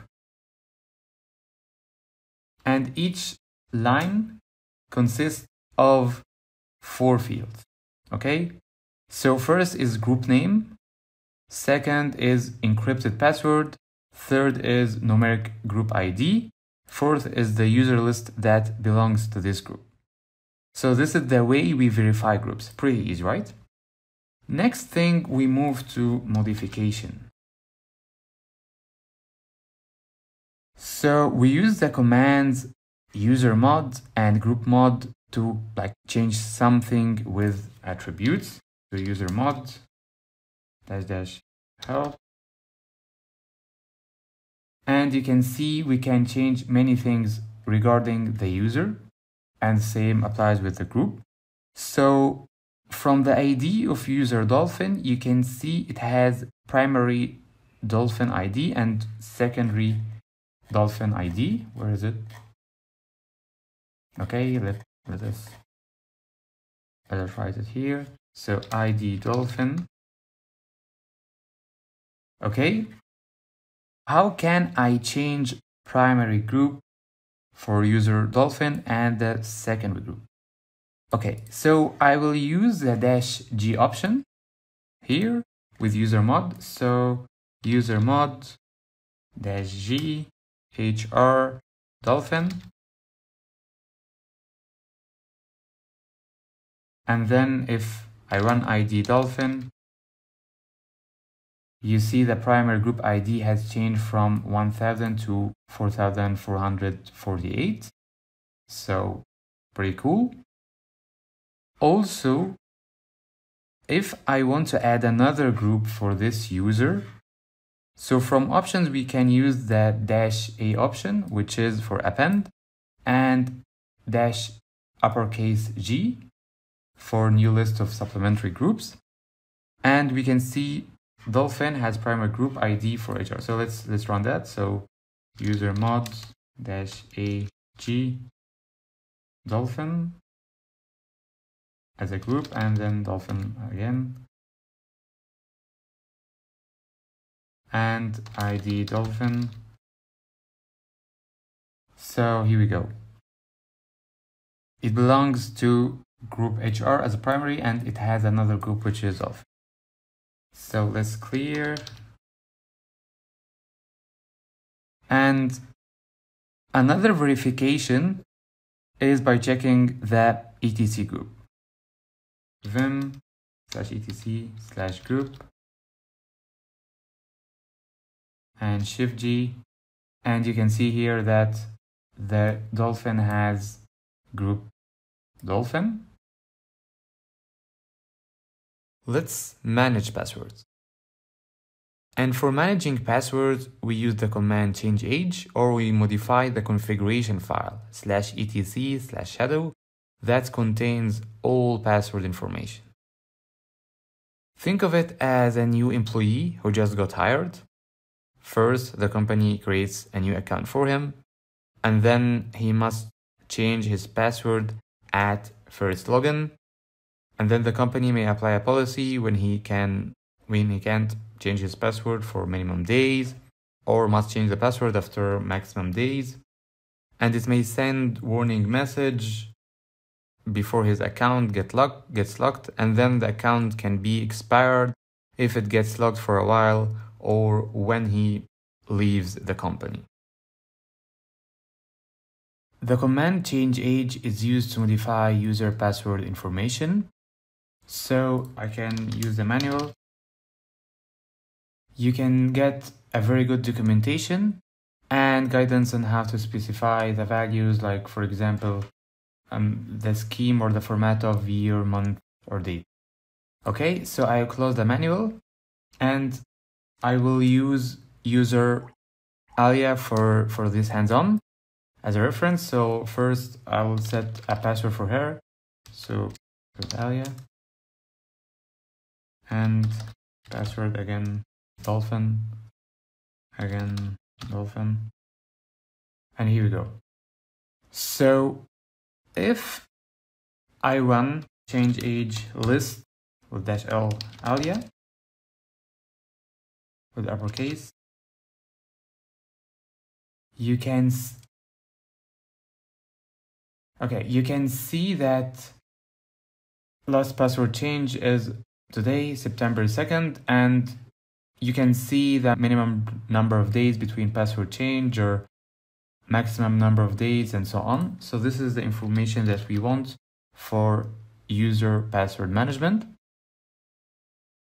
So I will do two modifications just for fun. I will first modify the maximum number of days to be two days.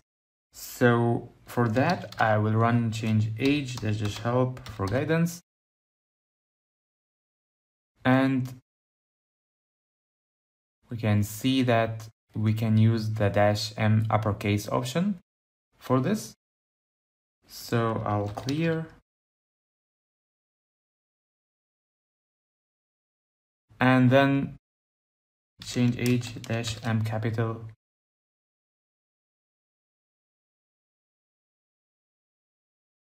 Alia. Okay.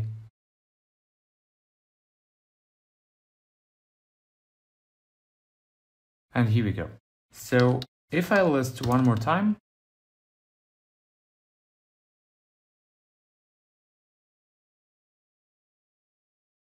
you can see that the expiry date will be in two days from today, so September 4th. So you can now see that change has taken place. So one last thing, I want to make this account, Ali account, to be expired. And when she logs in it tells her a message that this account has expired. So for this i will run or i will use the dash e option. So basically change age dash e and the scheme of or the format of the year month and then the user alia okay uppercase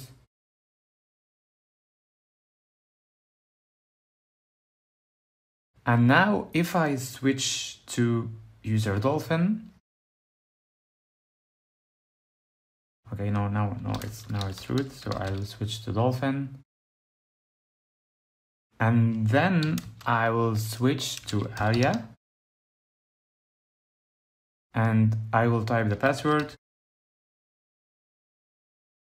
You see the message that your account has expired. Please contact your system administrator and that the user has been, the account has been expired.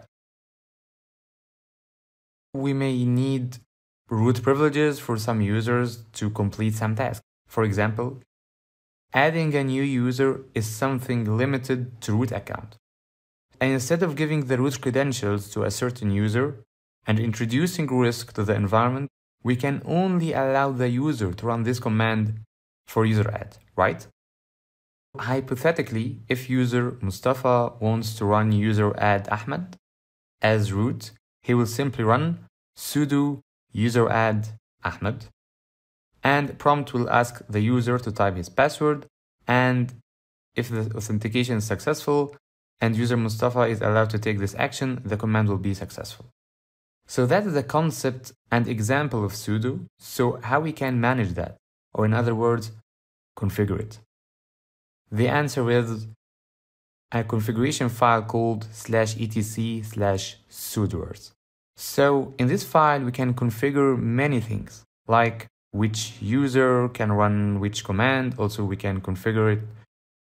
It should ask about password or not. And the final thing I want to shed some light on is that anyone who belongs to the wheel group has root privileges to run any command. Before everything, please run these commands for now and we'll get to that later in this section. So chmod 755 slash etc slash sudoers. Okay, and one more time with D. Okay, so at first I will go to user dolphin. So su dolphin. Okay. And then I will try to add user. So user add Marcelo. And we see we get access denied. Okay, so again, I will get back to root.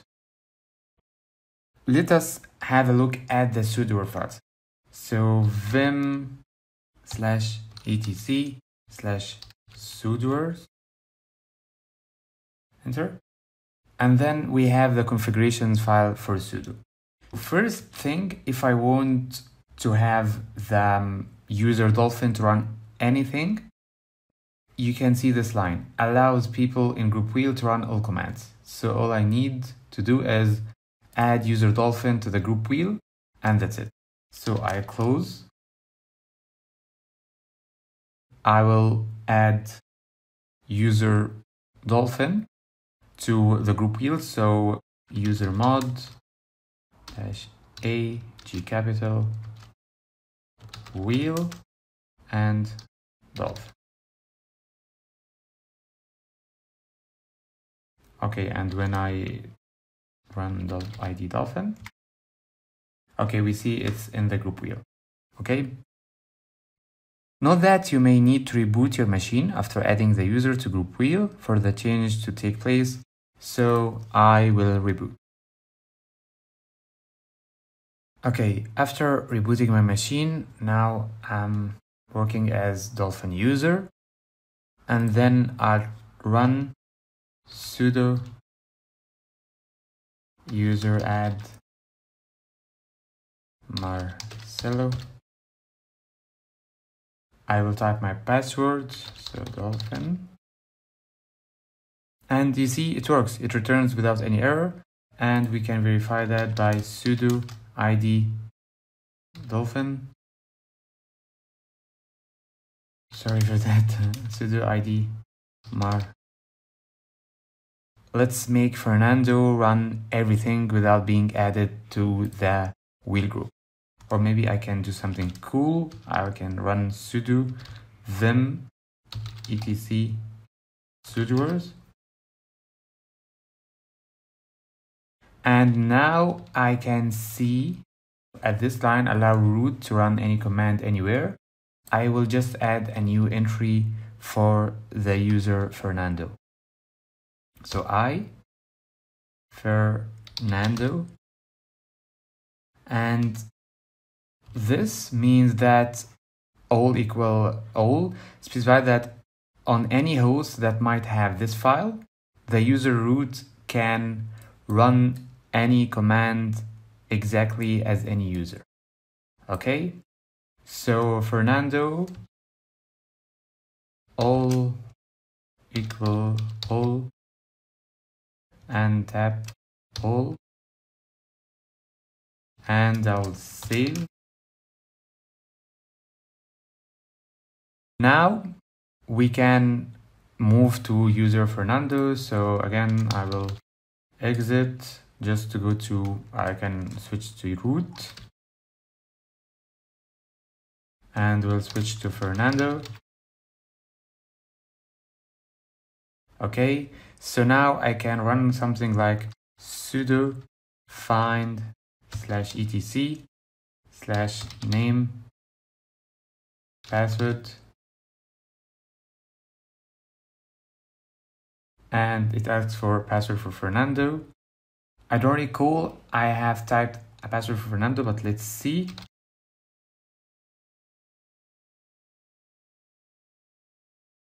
Okay, let's set a password for Fernando. So exit and then password Fernando, quick one, Fernando. So dolphin and again su Fernando. And let's try the command one more time. So here and dolphin. And here we go. So it didn't return any error. We want to allow user like David to run a specific command for example, we need the location, or for example, command like user userdel. I'll go back to root. Let's clear this. So user like David, I want him to run only user del command. So first I need to specify the location of the command. I will run which user del. And here we go. So the, this command is actually a file or like a script that is located in user sbin userdel.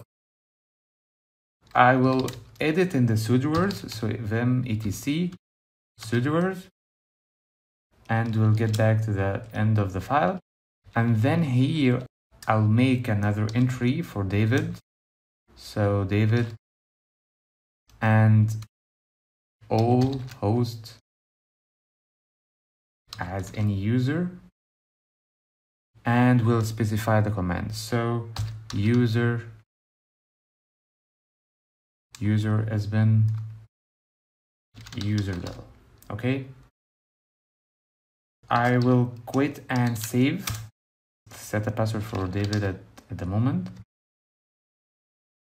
Again, dolphin. Again, dolphin if I switch to David, okay, and try to run command like user mod dash u four nines Maria. And press enter, it will ask for password. So dolphin Okay, so it tells me user David is not allowed to execute user has been like the command as root and localhost local domain. However, it can accept command like sudo user del Maria. Enter. Again, for one final thing. And okay, maybe Maria is not here, so let's try Emily.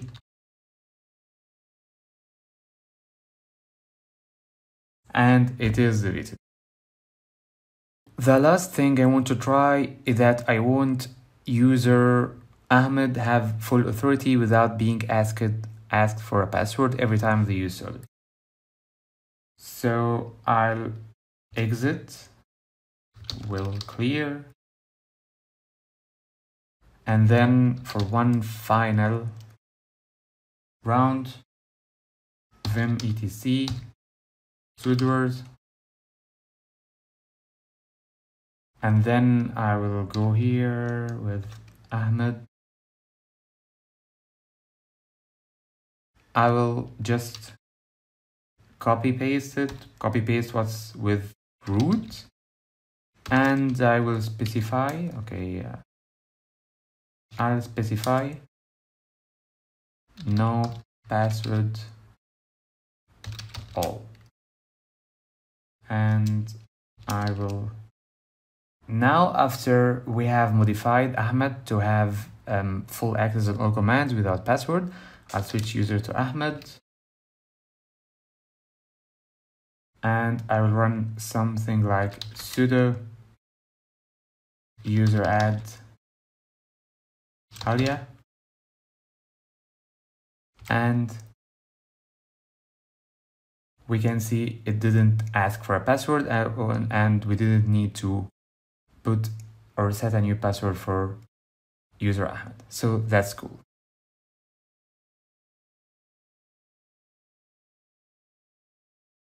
So on the level of permissions, we use a very popular command, which is change mod. And change mod has two different methods. First, very simple one, in which you can add or remove the permissions with plus minus.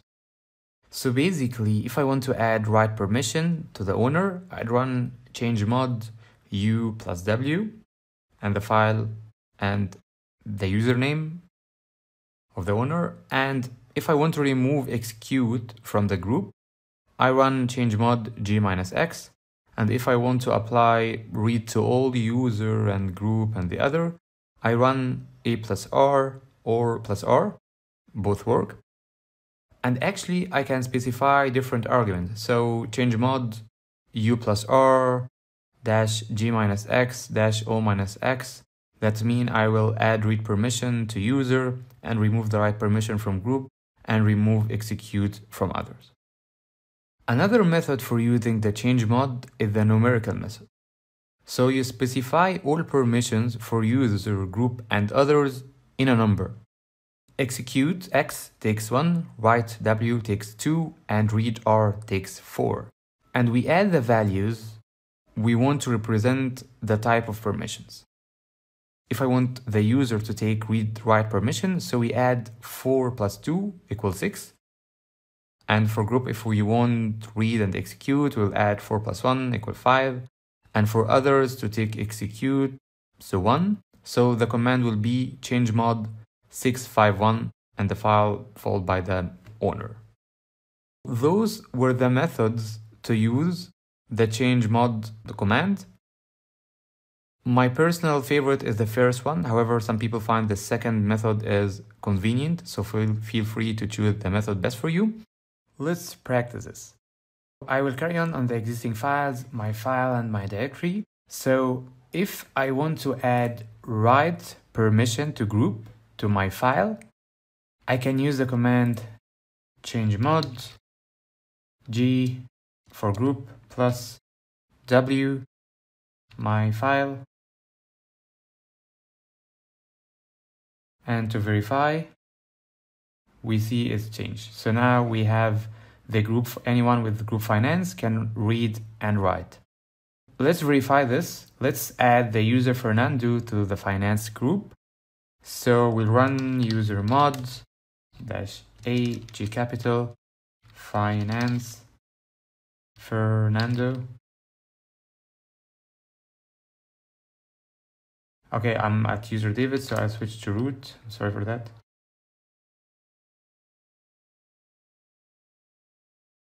So again, user mod.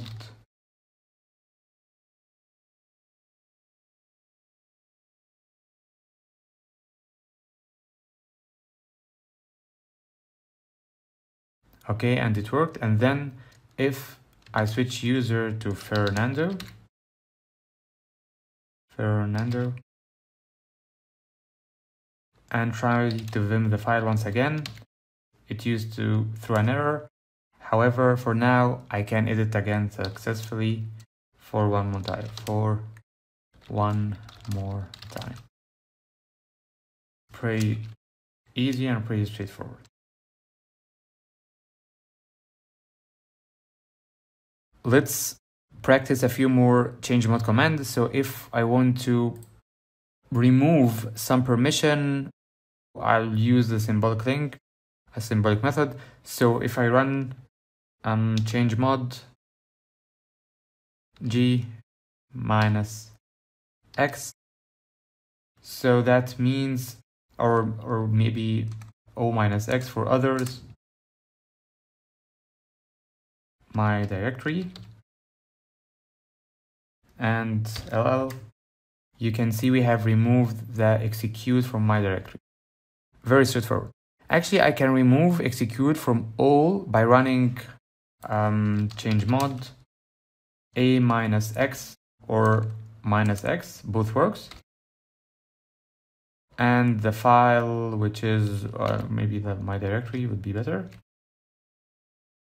And ll and you can see we have changed all execute permissions from user and group and others.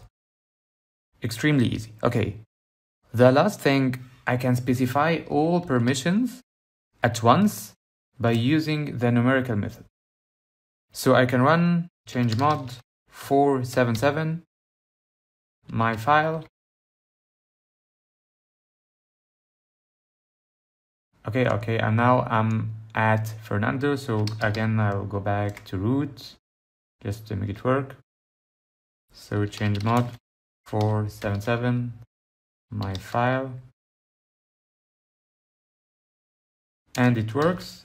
And we can see 7 means read write execute, 7 means read write execute, and 4 means write. So it is applied we are going to describe super important concepts that are input output redirection and pipelining. So basically, every program or process is triggered by an input to produce output.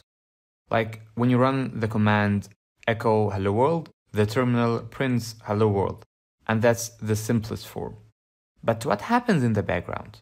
To answer this question, we need to describe the process with its channels. So every process has several number channels 0, 1, 2, 3, and so on.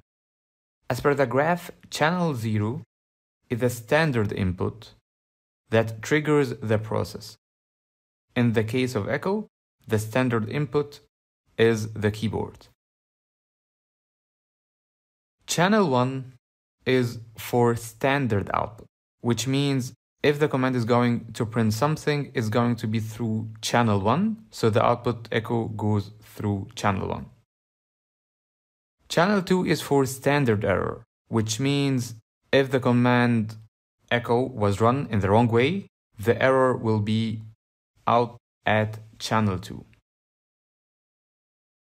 Channels 3, 4, 5, and so on are configurable, which means that the process has defined a specific output and put it in a custom channel and this channel can be channel 3 for example. So now we know that each process has number channels. How can we take advantage of that? One of the answers is output redirection. By default, the outputs at channel 1 and 2 are viewed on the screen. However, if we want to control that or modify the way we save or view the output, redirecting the output to a file or the screen or the bin or different terminal and so on. ls-l or ll is the command to list the directory with its hidden files and their permissions. So if we run it, we see that it doesn't have any error and the standard output is viewed on the screen. So if I want to save this output to a file, we can run it the same way and put the redirection sign, which is the greater than, and specify the file we want to save this output to.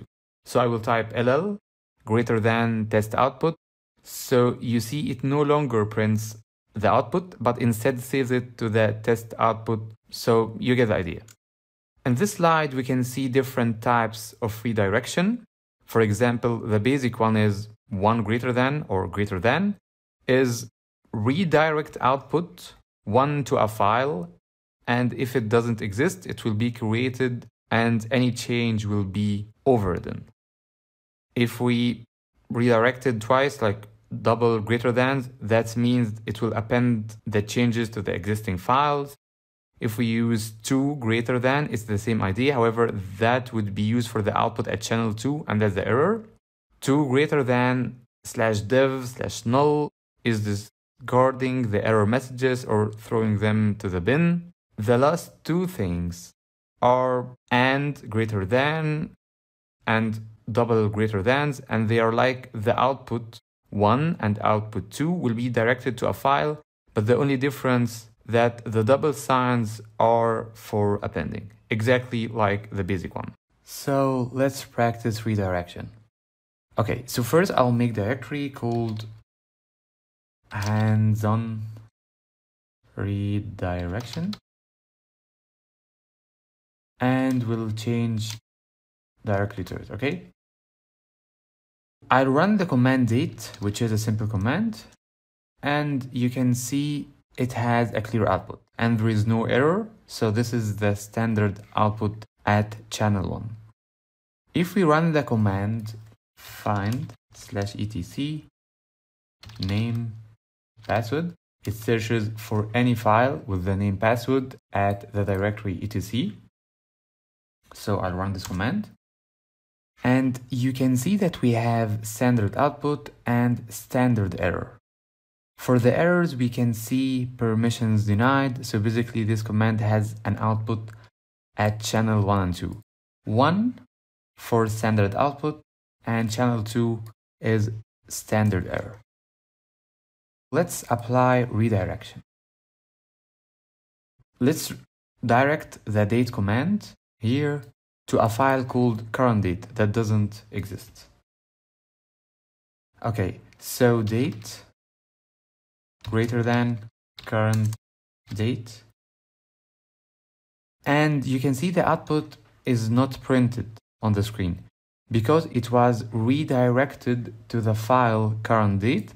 And when we cat this file, we can see the output. So what if we repeat the command? We can see that the new data has overridden the old value. So what if we want to add to the file, not override it, just to append it? We use the double greater than signs. So date double greater than current date.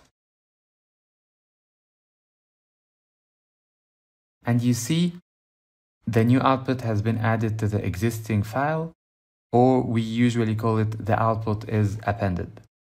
So let's append the standard error of the find command. So we'll run again the same command. I'll, I'll re-show it by the up arrows. And I'll specify the output at channel 2, which is the standard error, double greater than, and current date. Okay? And we can see now that only the standard output is printed because by default the standard output at channel 1 it's directed to the terminal and we can see that the errors are appended to the current date so cat current date and here we go. So how can we redirect both the standard output and error to this file? And override it. Yes exactly. We'll use the greater the and and greater sign as if it directs 1 and 2 to this file. So as if it's 1 and 2 greater than to the current date. However, we can use the analogy of this one. So find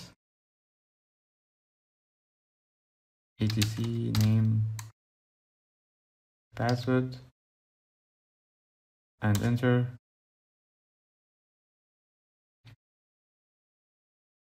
we can see that the output, the old output has been removed and the old content has been removed and the new one has been added.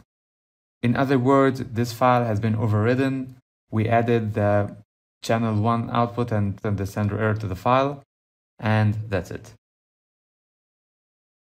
Let's practice pipelining.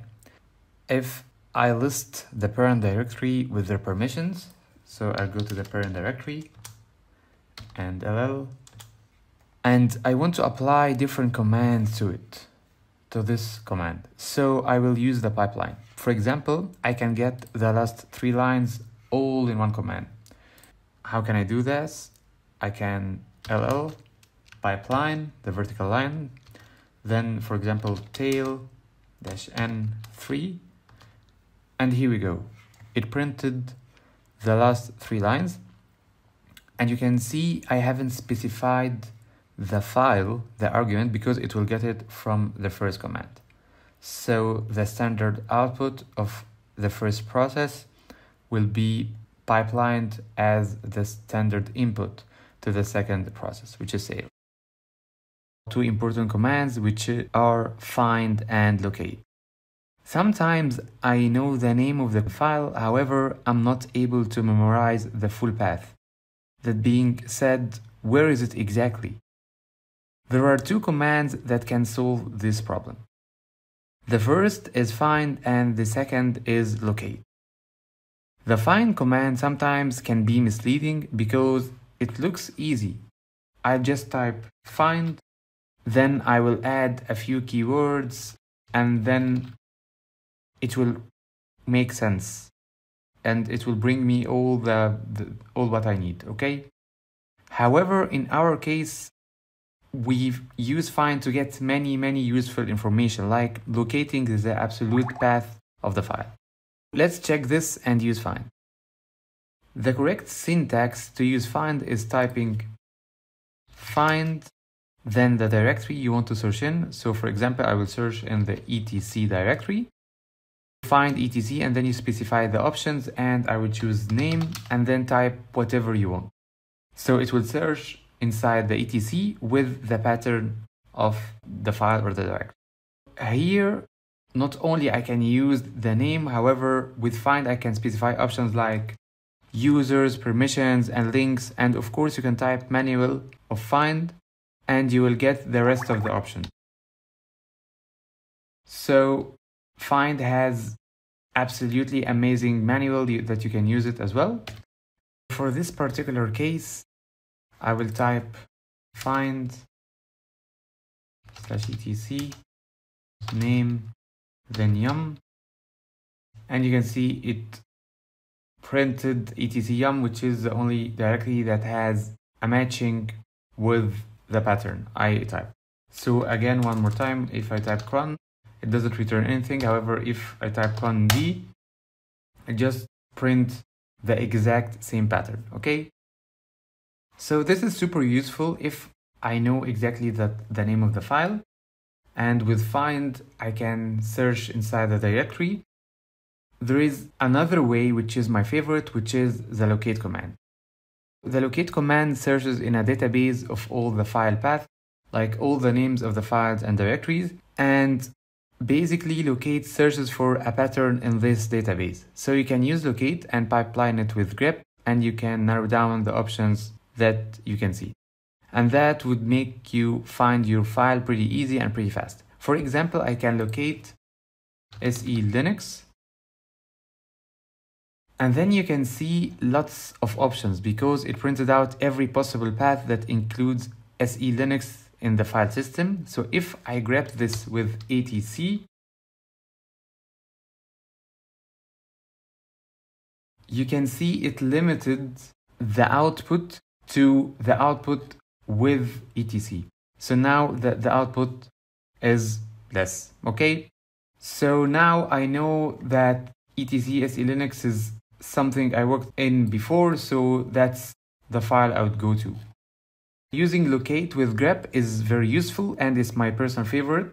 However, there is one example that I'd like to demonstrate here, which is if I type touch testing locate. Okay, so this file, we are in home. Okay, so if I type locate testing locate, it returns without any errors or any output. Why is that? That's because the new file is not updated or not inserted in the database of file. What do I need to do to update this database? I only need to run update db and then I will run again and you can see the file is within the results. I just need to update the database of files and the results will be there. We continue talking about common daily tasks of a Linux system administrator, and this task is installing software packages. Sometimes we need to use a certain program, so we download it and install it. The yum commands search numerous repositories for packages and their dependencies, so they may be installed together to fix dependency issues. For the install command, typically searches for the name of the package in the repositories, and when it finds it, it resolves the package dependency issue and then it installed everything, installed it right away. All in one step. So this is very quick and very powerful. And here is an example of common yum commands that we regularly use to install packages. So let's use yum. Simply, if you want to download HTTP in yum, you just type yum install HTTP and let's analyze what happens.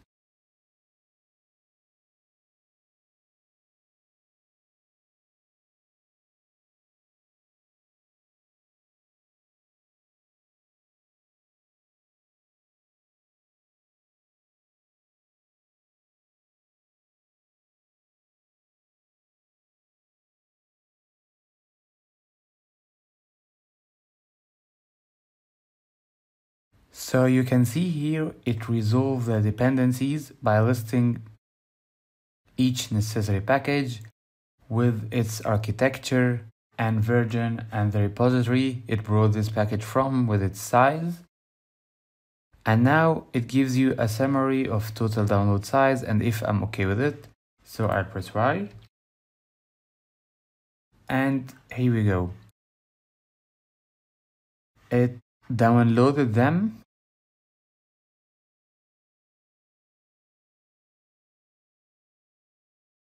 and now it's installing these packages.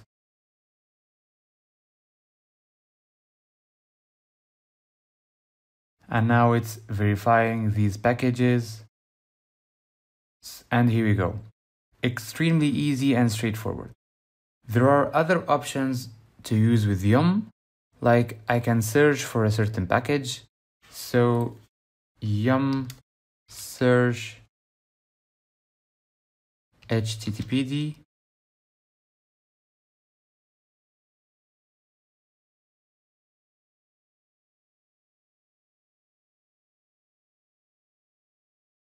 and you can see some packages with their description that contains the name httpd so you choose the package that best suits your need also, I can get some information for the HTTPD package, which is yum info HTTPD.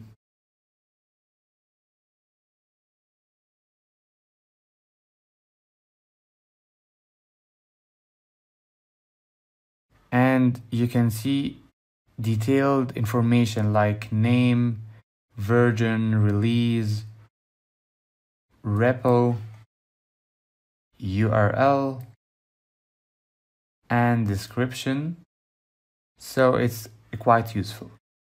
To display more options of Yum, TapTap would be very useful for you. Yum, TapTap. And you can see multiple options to choose from. So I will choose repo list just to know what are the repositories that contain the resources to get the package from. So yum repo list.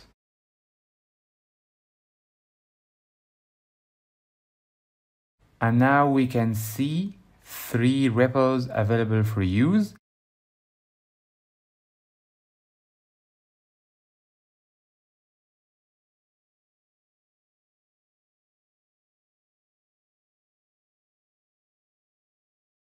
Now the question is how can we control our system to do something? This is by using a very very important command which is systemctl. In this slide I will just provide a few examples of using the systemctl command. First, we can list all the units services by running systemctl list units and that will give me all the units available in the system whether it's a service unit, whether it's a socket unit or a path unit. To start a service, we just run systemctl start followed by the service.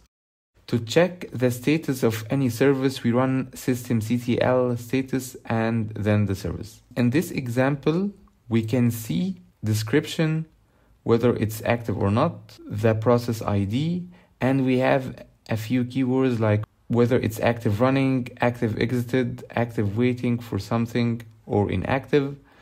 And we have enabled, and by the way, enabled concept is very important. When you say that the service is enabled, that means it starts at boot time. Disabled, it means that's not starting at boot time. And this is not only in Linux, but it's known in many, many IT fields. Then the last few logs when it was run.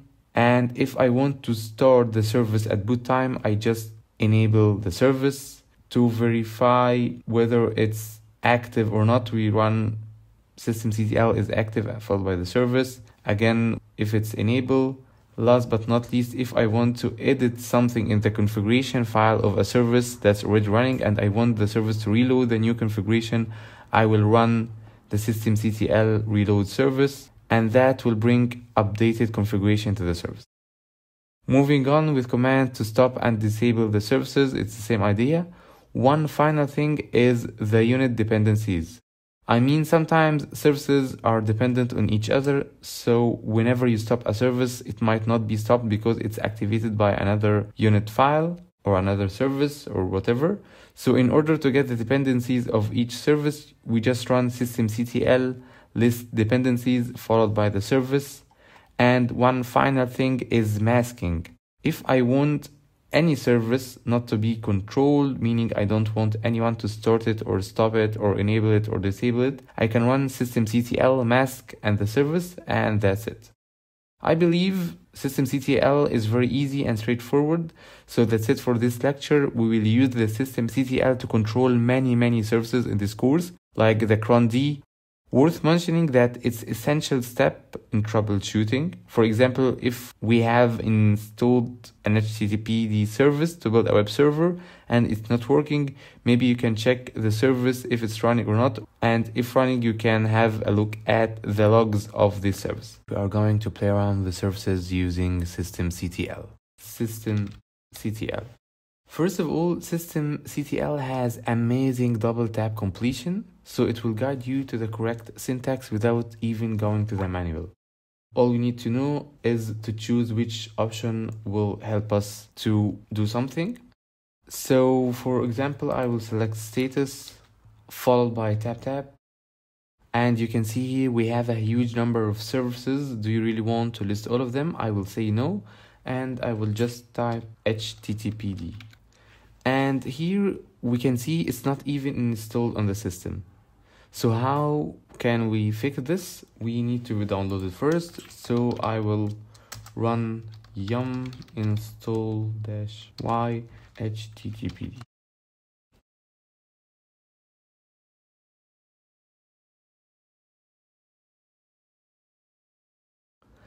Now it's downloaded. I will clear first and then I will run again the same command I just run, which is systemctl status httpd the service. Here we can see it's loaded and inactive and there is a reference to the manual page of the httpd. So I want to start the httpd service, so I will run systemctl start httpd service and it returns without error. So that means it runs successfully. We'll check the status again. And we can see here it's active running okay? And here comes the log of the services. There are some valuable information like the main process id and the memory for example and so on.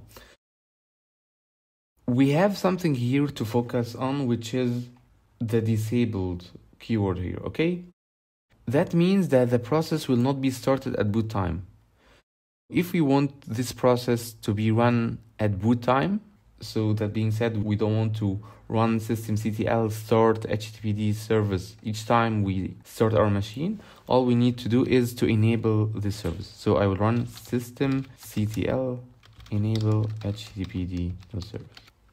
Now the service is enabled and now we can run a few checks to check on this service. So I will clear and then we'll run for example, if I want to check if this service is active, so I would run systemctl is tap tap.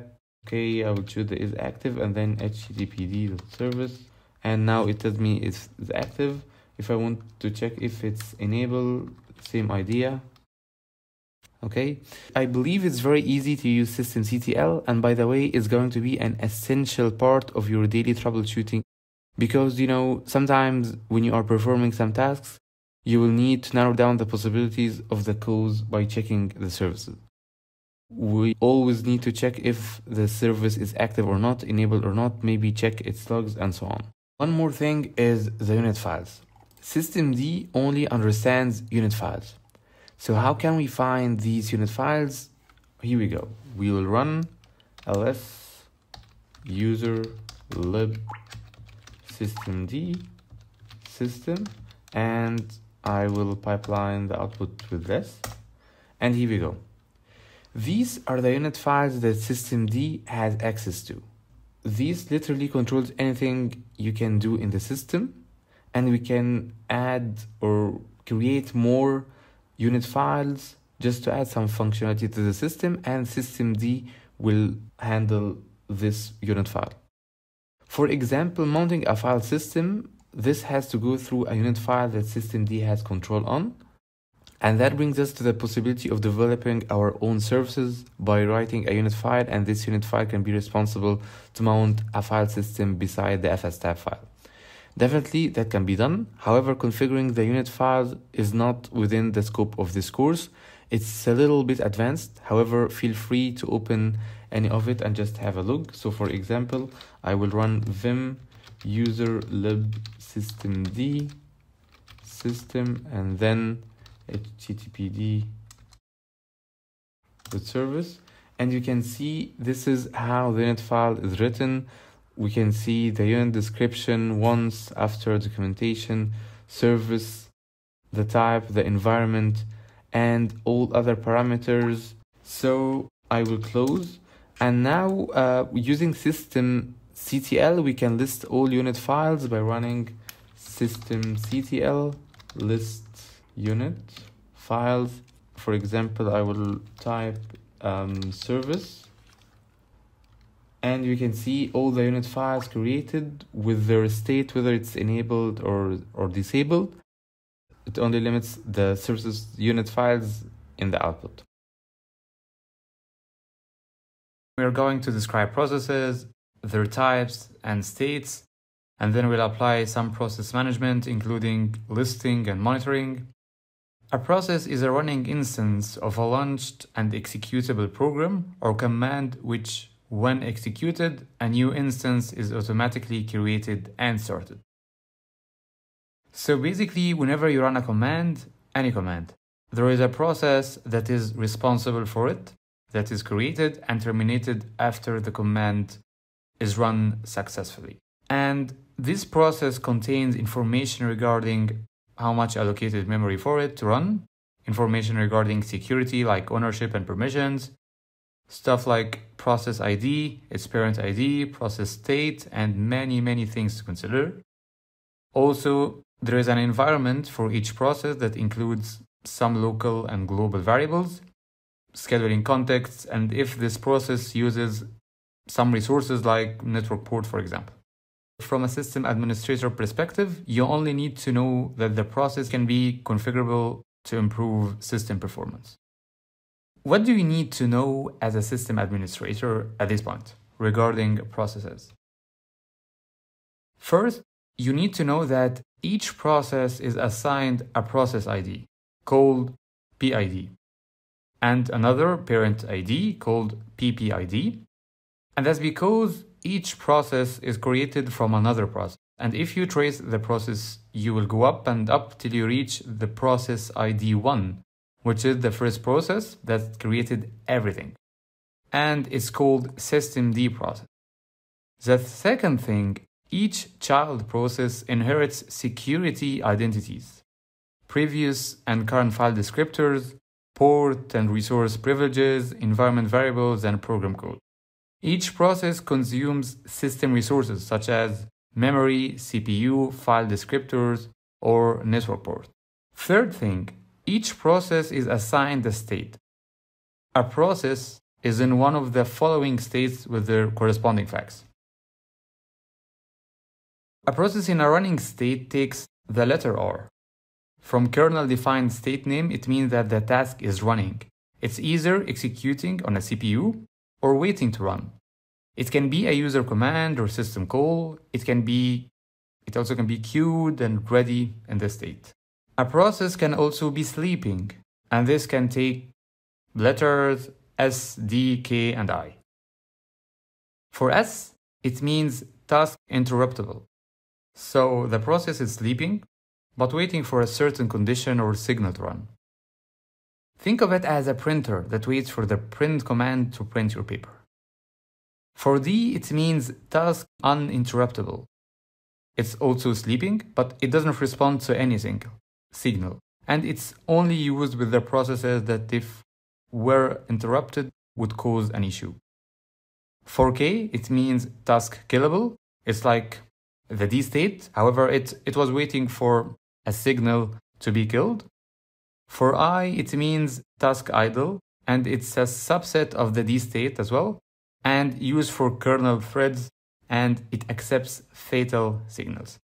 And that's for the sleeping state.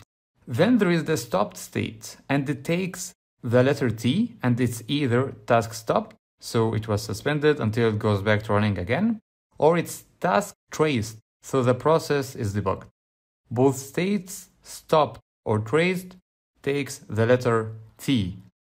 The final state is zombie, and it's either exit zombie, taking the letter Z, when the process gives up all the resources except the PID, or exit dead, when the parent process cleans up all the remaining child processes and the process is released completely and is never observed in a process listing utility.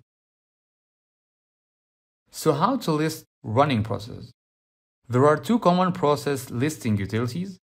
One of them is the command ps, which is by default with no options, selects all processes with the same effective user ID as the current user, and which are associated with the name terminal where ps was invoked.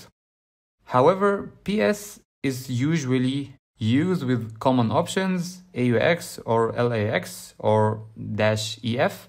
And these options can list things like the process name, the user, the PID, CPU, memory, PPID, and other states, and we'll see this on the hands-on. Also, you can sort the processes based on some criteria. For example, if you want to sort a process based on memory consumption, you can use the dash O option or dash dash sort. Another utility is the top command.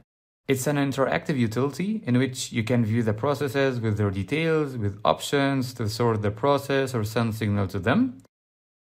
It's pretty handy and very useful. So while listing processes is important, that's because while troubleshooting system performance, you will need to understand the status for some processes.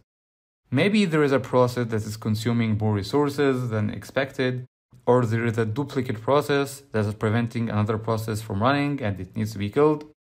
Many, many options. The first thing we are going to check is the manual of the principal command. And in our case, it will be the command ps that is used for listing the processes. So man ps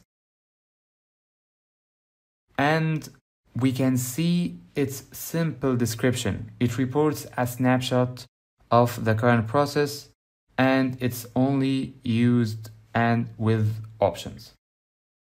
Okay, so now there are three types of options. One in which we must not use a dash, one which we must use the dash before options, and the last in which we must use double dashes before the options. So take care of that. And if you scroll down, you can see lots of useful examples. So I'll search with example. And you can see these examples very useful and very easy to follow. And if you search for state, you can see that state flags we talked about in the last lecture. So no need to memorize what each flag represents, so it's very useful. Last but not least in the manual, if you scroll down a little bit, you can see the sorting option that we can use to sort the processes based on certain keys, like this way. This is how we can sort with the sorting option. You can see the PS manual is very useful and I believe it covers all you need as a system administrator. So for now, I'll close the manual. So I'll run PS alone without any options on two terminal. So I will open a new one and adjust them for better visibility. PS alone without options in both terminals. So PS and here again. Okay, so it displays the processes that associated with the current terminal. The output is as follows. First is the process ID. Second column is the TTY, which is the controlling terminal. And you can see that for terminal 1, it takes PTS slash 0 in terminal 2, it takes PTS slash 1. Third column is the CPU time consumed for each process. And the last column is the command for each process. So pretty easy.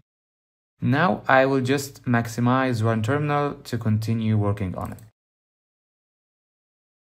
I will start using options and the most common option is the command ps AUX.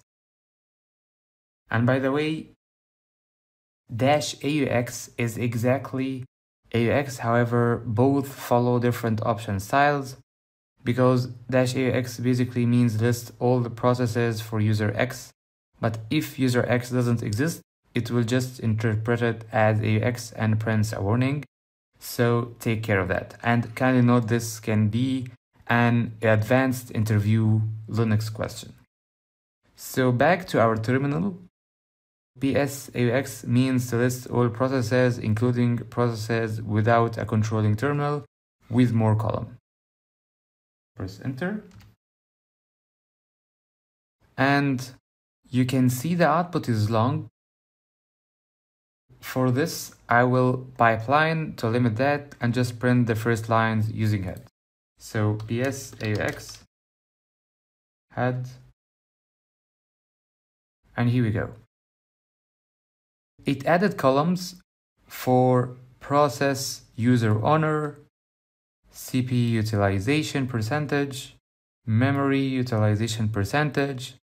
The VSZ column displays the amount of virtual memory being consumed by the process. RSS is the actual physical wired in memory that's being used. Stat, which stands for the process state, and the start column shows the date or time for when the process was started. This is different from the CPU time reported by the time column. And finally, the command. which run this process. So this is how you read the psaux command and with grep you can search for a certain command or process. For example, psaux grep bash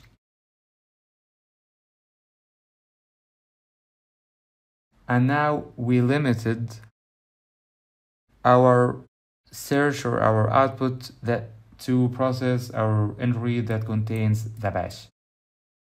Okay, another option that we can use with processes is with dash and most common is ps dash ef. So clear ps-ef and again we'll pipeline with head so the difference is that it shows the parent process ID and C by and by the way C is a rough figure to represent the percentage of the CPU time the process is responsible for consuming S time is the start time and the rest is exactly as the above options Last but not least, I want to use the last option style, which is preceded by two dashes. Okay. I want this option to be for sorting. And for example, I want to sort the processes based on their virtual memory utilization. Basically, I'll run ps aux dash sort dash pmem and I will limit that with head. You can see the processes are sorted according to a percentage of memory. So first memory takes 7.5 percentage, followed by 4.3, 2.2, 1.5. So this is extremely important when you troubleshoot system performance issues. You know which processes take high memory, so maybe this process can be killed or something like that.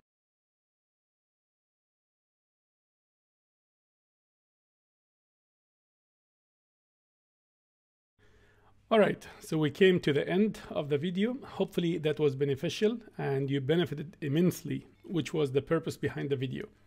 If you like the video, please subscribe to the channel, activate the notification, and also share it so you can support us and you can help us benefit the masses. If you want to know more about Linux, this course is part of an eight and a half hours course that's available on dolfined.com. And here's the name of the course.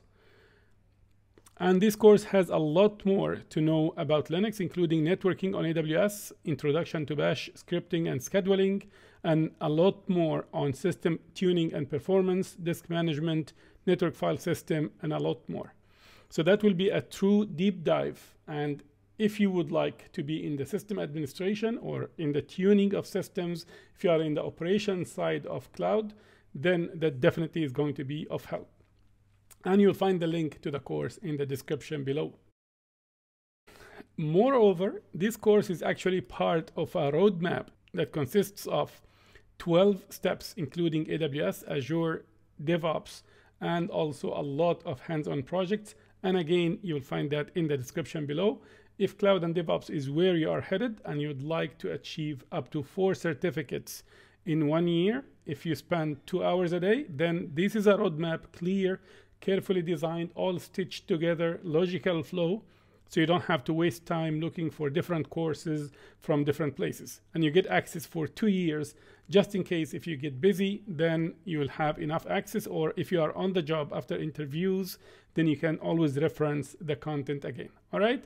Thank you so much for your time. Hopefully that was beneficial. And I'll see you again in another beneficial cloud DevOps machine learning, artificial intelligence, and a lot more of videos we are planning to publish.